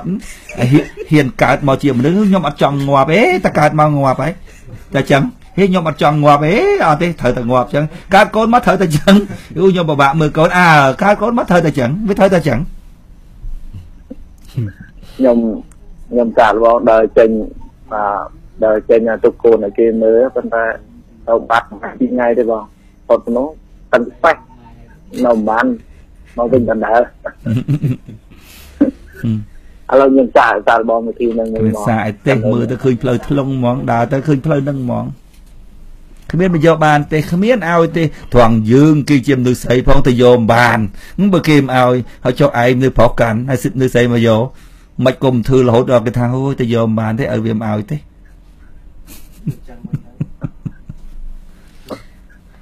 ចឹងខ្ញុំមានតែប៉ុណ្្នឹងទេបងចឹងការដោះស្រាយខ្ញុំប្រហែលជាចោលងងទេបងគ្មានទេចឹងអូខេអូនអរគុណវាលាបាទជំរាបបងរិទ្ធសូមទទួលទូរស័ព្ទខាង Smart អឡូយយសួរអូបាទជួយលឺច្បាស់ទេលឺច្បាស់បងលឺច្បាស់សូមប្រាប់ទីកន្លែងនិងអាយុផងខ្ញុំខំពីកំពង់សោមទៅបងអាយុ25ឆ្នាំមានបញ្ហាសូមជួយលើកឡើងអឺខ្ញុំចង់ជំរាបសួរពូសូមលោកពូសូមជំរាបសួរសូមសូមសូមសូមគោរពលោកពូពីចម្ងាយអរគុណមួយពូអឺខ្ញុំមានបញ្ហាក្នុងគ្រួសារលោកពូម៉ាក់ខ្ញុំ ខ្ញុំអត់ខ្ញុំអត់ខ្ញុំអត់ដឹងគួរនិយាយពីណាទៅមុនទេព្រោះរឿងច្រើនម៉ាក់ខ្ញុំគាត់ពិបាកគាត់ពិបាកថាគាត់ជាមនុស្សអត់ចេះស្ដាប់ហេតុផលក៏ថាបានអឺគាត់ខឹងគាត់ខឹងខ្ញុំពិបាកគាត់កំពុងតែខឹងខ្ញុំគាត់គាត់ថាខ្ញុំនឹងឲ្យរៀនបានខ្ពស់ហើយឥឡូវមើលងាយគាត់គាត់អង្គុយយំមកណាយាយមួយមើលងាយគាត់មែនអត់ ខ្ញុំអត់មានចិត្តមើលងាយគាត់អត់មើលងាយផងទៅភ័យអីបើយើងអត់មើលងាយផងធ្វើម៉េចឲ្យបញ្យលម៉ែតាមស្រួលគាត់ក្នុងចិត្តគាត់គាត់គិតតែខ្ញុំមើលងាយគាត់គាត់អត់មានហេតុផលទេក្មួយបានទី1ក្មួយអត់មើលងាយទី2ក្មួយបានបញ្យលម្ដាយរួចហើយអស់លទ្ធភាពហើយថាក្មួយមិនបានមើលងាយចេះចេះចេះក្មួយបានធ្វើរឿងឲ្យក្មួយអស់ហើយហើយទុកឲ្យធម្មជាតិរៀបរយទៅខ្ញុំខ្ញុំបញ្យលខ្ញុំអត់បានបញ្យលគាត់ទៅពួកគាត់អត់ស្ដាប់គាត់មិនអត់បញ្យលគាត់អត់ គាត់អត់ស្ដាប់យើងខ្ញុំអូបើក្មួយបានបញ្យលឲ្យគាត់អត់ស្ដាប់អានឹងរបស់គាត់ទៀតណាក្មួយត្រូវទទួលណាត្រូវព្រមទទួលជីវិតអញ្ចឹងក្មួយធ្វើតែរឿងយើងអស់លទ្ធភាពទៅក្មួយមើលងាយគាត់អត់អត់ទេក្មួយបានបញ្យលគាត់អត់បញ្យលឲ្យតែគាត់អត់ស្ដាប់ហេតុផលបានហើយនោះធ្វើអស់ហើយនោះអញ្ចឹងអឺអញ្ចឹងខ្ញុំត្រូវរស់នៅអញ្ចឹងទៀតពូក្មួយរស់នៅមិនក្មួយបងធ្វើមិនបើម៉ាក់គាត់អញ្ចឹងរហូតណាពូគាត់អញ្ចឹងរហូត គាត់មានរឿងអញ្ចឹងហើយឲ្យតែមានរឿងអីគាត់អញ្ចឹងរហូតគាត់និយាយយកឈ្នះហើយគាត់ប្រកែកគាត់យំគក់ទ្រូងពេលខ្លះគាត់ថាយើងមើលងាយគាត់ក្មួយប្រើពាក្យអីខ្លះក្មួយបានទៅជារឿងមើលងាយក្មួយស្ដាប់តាមជារៀងហ្នឹងពូអឺបើនិយាយទៅអឺនិយាយទៅគាត់ឲ្យខ្ញុំរៀនជាវិជ្ជបណ្ឌិតប្រទេសហើយនៅផ្ទះរងថ្ងៃហ្នឹងបើជា pharmacy លក់ថ្នាំមកលោកពូប្រទេសហើយគាត់គាត់ចូលចិត្ត រកស៊ីតាំងពីដើមគាត់ចូលចិត្តលក់អីវ៉ាន់អីវ៉ាន់កប៉ិកកប៉ុកលក់គ្រឿងវិជាលក់តាំងពីនេះតាំងពីស្លាដកទេទៅវត្តតាំងពីអីលក់បាំងពេញមុខតោប្រទេសហើយយើងលក់ថ្នាំយើងព្យាបាលជំងឺវាទៅជារឿងនួយដាច់ម៉ួយអាជំងឺដែលយើងមើលហ្នឹងវាទៅជារឿងកាក់ល្អិតកាក់អីដល់ហើយប្រាប់គាត់ថាកុំអោយលក់អញ្ចឹងអញ្ចឹងវាអត់តម្លៃវាដូចវាអត់តំណងទេកន្លែងយើងលក់ដូរលក់ថ្នាំកន្លែងយើងព្យាបាលជំងឺមួយក៏ទៅលក់ប៊ីយ៉ាលក់គ្រឿងកាប៉េកប៉ុកលក់បៀលក់អីចឹងដល់ពេលហើយហើយ ខ្ញុំនិយាយអញ្ចឹងទៅគាត់ថាយើងនឹងមើលងាយគាត់មើលអីគាត់ថាបើឯងមកអញលក់លក់ផ្ទះខាងចោលអញ្ចឹងអញយកលុយនឹងដេកស៊ីហើយមួយដោះស្រាយចេញរឿងហ្នឹងបាទពូដោះស្រាយចេញផ្ទះគាត់អីយ៉ាងម៉េចអឺពូថាម៉េចផ្ទះគាត់ហ៎ផ្ទះផ្ទះនៅមួយគ្នាហ្នឹងពូផ្ទះខ្ញុំនៅក្នុងបន្ទប់របស់គាត់ហ្នឹងណាអឺ បើយើងនៅបន្ទប់របស់គាត់ហើយធ្វើម៉េចធ្វើម៉េចរបស់គាត់ហើយធ្វើម៉េចដូចយើងអត់មានលុយហើយយើងចង់មានអញ្ចឹងណាបើអត់មានទេធ្វើម៉េចដោះស្រាយតាមអត់មានហ្នឹងមានអត់អោនតាមគាត់ហ្នឹងទៅចាំយើងរកស៊ីមានចេញណាបាទចឹងពូខ្ញុំខ្ញុំចំចិត្តមួយថាពេលណាដែលខ្ញុំខ្ញុំរៀនចិត្តចប់ដែរពូឥឡូវនេះខ្ញុំខ្ញុំឡើងទៅពេញហ្នឹងសៅអាទិត្យឡើងទៅពេញតព្រោះឥឡូវខ្ញុំឆ្នាំទី8ដែរខ្ញុំចិត្តចប់ដែរហើយ រៀនឆ្នាំប្រហែលជាឆ្នាំក្រោយរៀនចប់ទៅពូខ្ញុំខ្ញុំខ្ញុំតាំងចិត្តហើយថាបើសិនជាខ្ញុំចាប់ខ្ញុំដល់គោលដៅខ្ញុំចេញទៅខ្លួនហើយពូខ្ញុំខ្ញុំរកកន្លែងណាហោះតែខ្លួនខ្ញុំអត់បណ្ដេបណ្ដាក់មួយគាត់ច្រើនខ្ញុំព្រោះនៅតាមការយល់ឃើញរបស់យើងពូខ្ញុំគិតថាអញ្ចឹងអឺវារឿងហ្នឹងហើយក្មួយរឿងហ្នឹងហើយវាត្រូវតែអញ្ចឹងហើយក្មួយ យើងជាកូនទោះបីគាត់យ៉ាងម៉េចក៏ដោយយើងនៅតែចាត់ទុកគាត់ជាម្ដាយ ជួយគាត់មើលគាត់តាមលទ្ធភាពប៉ុន្តែក៏យើងសុំជីវិតរបស់យើងមួយរស់នៅឲ្យដូចថាផុតអ្វីដែលយើងយល់ថាវាអត់សមរម្យហ្នឹងហើយបើវាកើតមានរឿងអីទៅទៀតក៏យើងព្រមទទួលដែរខ្ញុំបើគាត់ពិតជាស្រឡាញ់យើងមែនណាគាត់មិនមែនធ្វើឲ្យយើងពិបាកអញ្ចឹងទេក្មួយគាត់អត់យល់ពីកូនបើគាត់អត់យល់ពីកូន យើងមិនកាត់កាលម្ដាយ យើងមិនឈប់ទៅមកជាមួយម្ដាយតែយើងសុំរស់ក្នុងភាពជាមនុស្សដែលយើងមើលឃើញថាគាត់ធ្វើការធ្វើសកម្មភាពរំលោភលើយើងអញ្ចឹងយើងសុំដកខ្លួនចេញពីកន្លែងហ្នឹងរួចហើយយើងនៅតែផ្គត់ផ្គង់ម្ដាយមើលម្ដាយតាមលទ្ធភាពដែលយើងអាចធ្វើទៅបានត្រូវទទួលយកការពិតរបស់ជីវិតយើងក្មួយដោះខ្លួនចេញឲ្យផុតមកដើម្បីរស់ខ្លួនឯងរួចហើយ អត់កាត់ការម្ដាយត្រូវទៅលេងទៅលេងត្រូវទៅមើលទៅមើលម្ដាយឈឺហើយព្រមទទួលថានឹងជាជាជីវិតរបស់យើងយើងពិតជាចង់រស់នៅជុំគ្រួសារយើងពិតជាចង់បានម្ដាយមួយល្អតែវាអត់មានគឺយើងបានតែប៉ុណ្ណឹងបាទពុកហើយមិញហ្នឹងគាត់អឺអត់មិញហ្នឹងគាត់ផ្លេចបិទម៉ាស៊ីនត្រជាក់ប៉ាគាត់ផ្លេចបិទម៉ាស៊ីនត្រជាក់ហើយដល់ឲ្យប៉ាគាត់ទៅពេទ្យគាត់ទៅធ្វើការនៅពេទ្យបាត់គាត់ទេទៅថាឲ្យប៉ាដៀលតាំងពីថាពីការហើយមិនដែលបានសុខទេ ឃើញតែយកប្តីពេទ្យយកប្តីរៀនខ្ពស់បានសុខដៀលដៀលប៉ារហូតដៀលប៉ាថាគាត់ទៅផ្លេចបិទម៉ាស៊ីនត្រជាក់សោះហ្នឹងហើយម៉ាស៊ីនត្រជាក់វាផ្លេចបិទរហូតដល់ម៉ោង1ថ្ងៃសោះគាត់ទេទៅគាត់រៀលដាវតាំងពីខ្ញុំតាំងពីប៉ាតាំងពីអីទាំងអស់ថាយកប្តីតាំងពីប៉ាឥឡូវប៉ាហ្នឹងអត់ហ៊ានចូលផ្ទះគាត់មួយទឹកនៅពេទ្យគាត់មិនដឹងចង់បានគ្រួសាររបៀបម៉េចទេណោះគាត់មិនដឹងចង់បានគ្រួសាររបៀបម៉េច បើសិនជាគាត់ចង់បានគ្រួសារមួយដែលសុខសាន្តឃើញមុខគ្នាសប្បាយចិត្តរៀងរៀងខ្លួនគាត់ត្រូវមើលពីសកម្មភាពរបស់គាត់ទៅមុនមនុស្សរស់នៅជុំគ្នារឿងអីវាមិនដែលថាវាអត់មានខុសក៏ប៉ុន្តែបើសិនជាយើងមិនចង់ឲ្យគ្រួសាររបស់យើងវាមានបញ្ហាអាពេលឃើញខុសចឹងចឹងយើងលើកយកមកនិយាយដោយសេចក្តីស្រឡាញ់ដោយការលេងសើចថាប៉ាវាឯងភ្លេចបិទម៉ាស៊ីនត្រជាក់ថ្ងៃមិញវាជាចុះអីទៅ វាចប់រឿងបាត់ថាគាត់ចង់គាត់ចង់គាត់ចង់គាត់ចង់ឲ្យបានគ្រួសារមិនម៉ែម៉ែចង់បានគ្រួសារមិនម៉ែណាគាត់ទៅឃើញម៉ាស៊ីនចាក់ចំហទេទៅសុទ្ធប៉ាឲ្យតាំងនិយាយលើករៀបរាប់តាំងថាតាំងពីការហើយតែបានសុខមិនឃើញថាយកប្តីពេទ្យឲ្យវាបានសុខអត់ដែលក្រុមអញ្ចឹងគាត់ចង់បាន ជីវិតក្នុងគ្រួសារគាត់មិនថាបើម៉ែឯងចង់ឲ្យឆ្លោះគ្នាមើលមុខគ្នាអត់ត្រង់រាល់ថ្ងៃម៉ែសុបាយចិត្តដូចអ្នកបដាលអញ្ចឹងបែកមុខបែកមាត់សុបាយចិត្តរាល់ថ្ងៃម៉ែធ្វើចឹងទៅត្រូវហ៎ខ្ញុំអត់និយាយថាប៉ាត្រូវទេប៉ុន្តែរបៀបដែលម៉ែប្រតិកម្មមួយប៉ាត្រូវសោះម៉ែចង់បានគ្រួសារយើងមិនកូនក៏អត់សុបាយម៉ែក៏អត់សុបាយប៉ាក៏អត់សុបាយថ្ងៃណាក៏អញ្ចឹងថ្ងៃណាក៏អញ្ចឹងម៉ែចូលចិត្តធ្វើចឹងយ៉ាងម៉េច ម៉ែចូលចិត្តឃើញគ្រួសារយើងចឹងយ៉ាងម៉េចខ្ញុំអត់និយាយថាប៉ាប៉ាត្រូវទេណាប៉ាពិបិនសិនជាខ្ញុំអត់និយាយថាប៉ាត្រូវទេណាប៉ាគាត់ខុសប៉ុន្តែកំហុសប៉ុណ្ណឹងបើម៉ាក់ចេះដោះស្រាយរឿងហ្នឹងវាអត់ទៅជាបញ្ហាក្នុងគ្រួសារទេមកពីម៉ាក់អត់ចេះដោះស្រាយរឿងអស់ហ្នឹងអាចនិយាយជាការលេងសើចបានតែម៉ែគុំនឹងពីជំនាន់ណាមកម៉ែរៀលដាលដល់ណាដល់ណីគ្រួសារយើងអត់បានសុខទេបើម៉ែនៅតែបន្តនឹងតិចទៀតដល់តិចទៀតនឹងបែកកូនបែកចៅទៀតខ្ញុំមិនដឹងធ្វើម៉េចពីព្រោះខ្ញុំបានធ្វើអស់ហើយម៉ែ ខ្ញុំមិនចង់បែកពីម៉ែទេប៉ិនបើធ្វើដល់របៀបហ្នឹងពេកខ្ញុំមិនអាចនៅបានបាទគូហឹមលោកមេគូបាទគូឲ្យចង់ខ្ញុំអត់អីទេពូខ្ញុំធូខ្ញុំដឹងថាត្រូវធ្វើមកចេះប៉ុន្តែ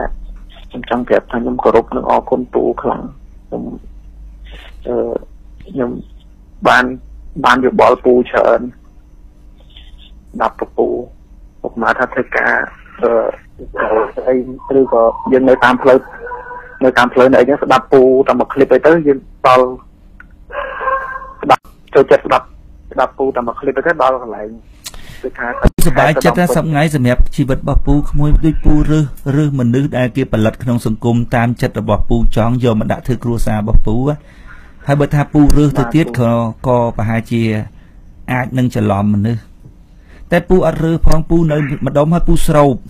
ដោយពូជាមេដែកពូអង្គុយស្ងៀមហើយពូស្រោបដល់ពេលអញ្ចឹងមកសត្វធាតដែកពូមានគ្រួសារមួយកក់ក្ដៅដូចមិនដែរឆ្លោះនេះរឿងអីផងគ្រួសារយើងហ្នឹងហើយអត់សោះសិតតែមនុស្សនិយាយស្ដាប់គ្នាបានស្រួលឮតែសំណើចរាល់ថ្ងៃគ្រួសារយើងដូចអត់ដែរមានអីទេដល់ពេលគេព្រួបពីគ្រួសារគេមកដឹងវេទនាហ្មងដឹងរស់មិនបាទទូខ្ញុំឃើញខ្ញុំឃើញក្មេងៗហ្នឹងនៅចិត្តពូសុបាយហើយទៅណាមកណីខ្ញុំមានអារម្មណ៍លមូលពោះចង់ទៅនៅចិត្តអញ្ចឹងដែរដល់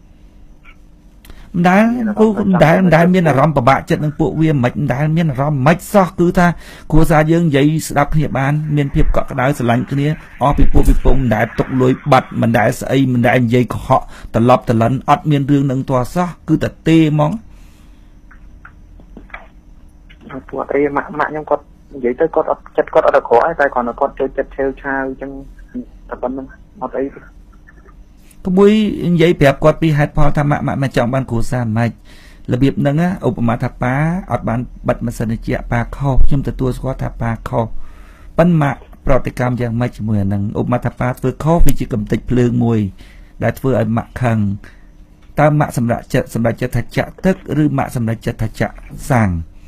បើម៉ាក់សម្រាប់ចិត្តថាចាក់សាំងគឺវាផ្ទុះឲ្យរឿងអស់ហ្នឹងប៉ាខុសហើយគឺมันបានបិទម៉ាស៊ីនជា វានៅសល់ថាតើម៉ែប្រតិកម្មនឹងរឿងនឹងយ៉ាងម៉េចម៉ែចង់ឲ្យគ្រួសារយើងយ៉ាងម៉េចបាទពូអូខេមួយយើងគាត់ពូ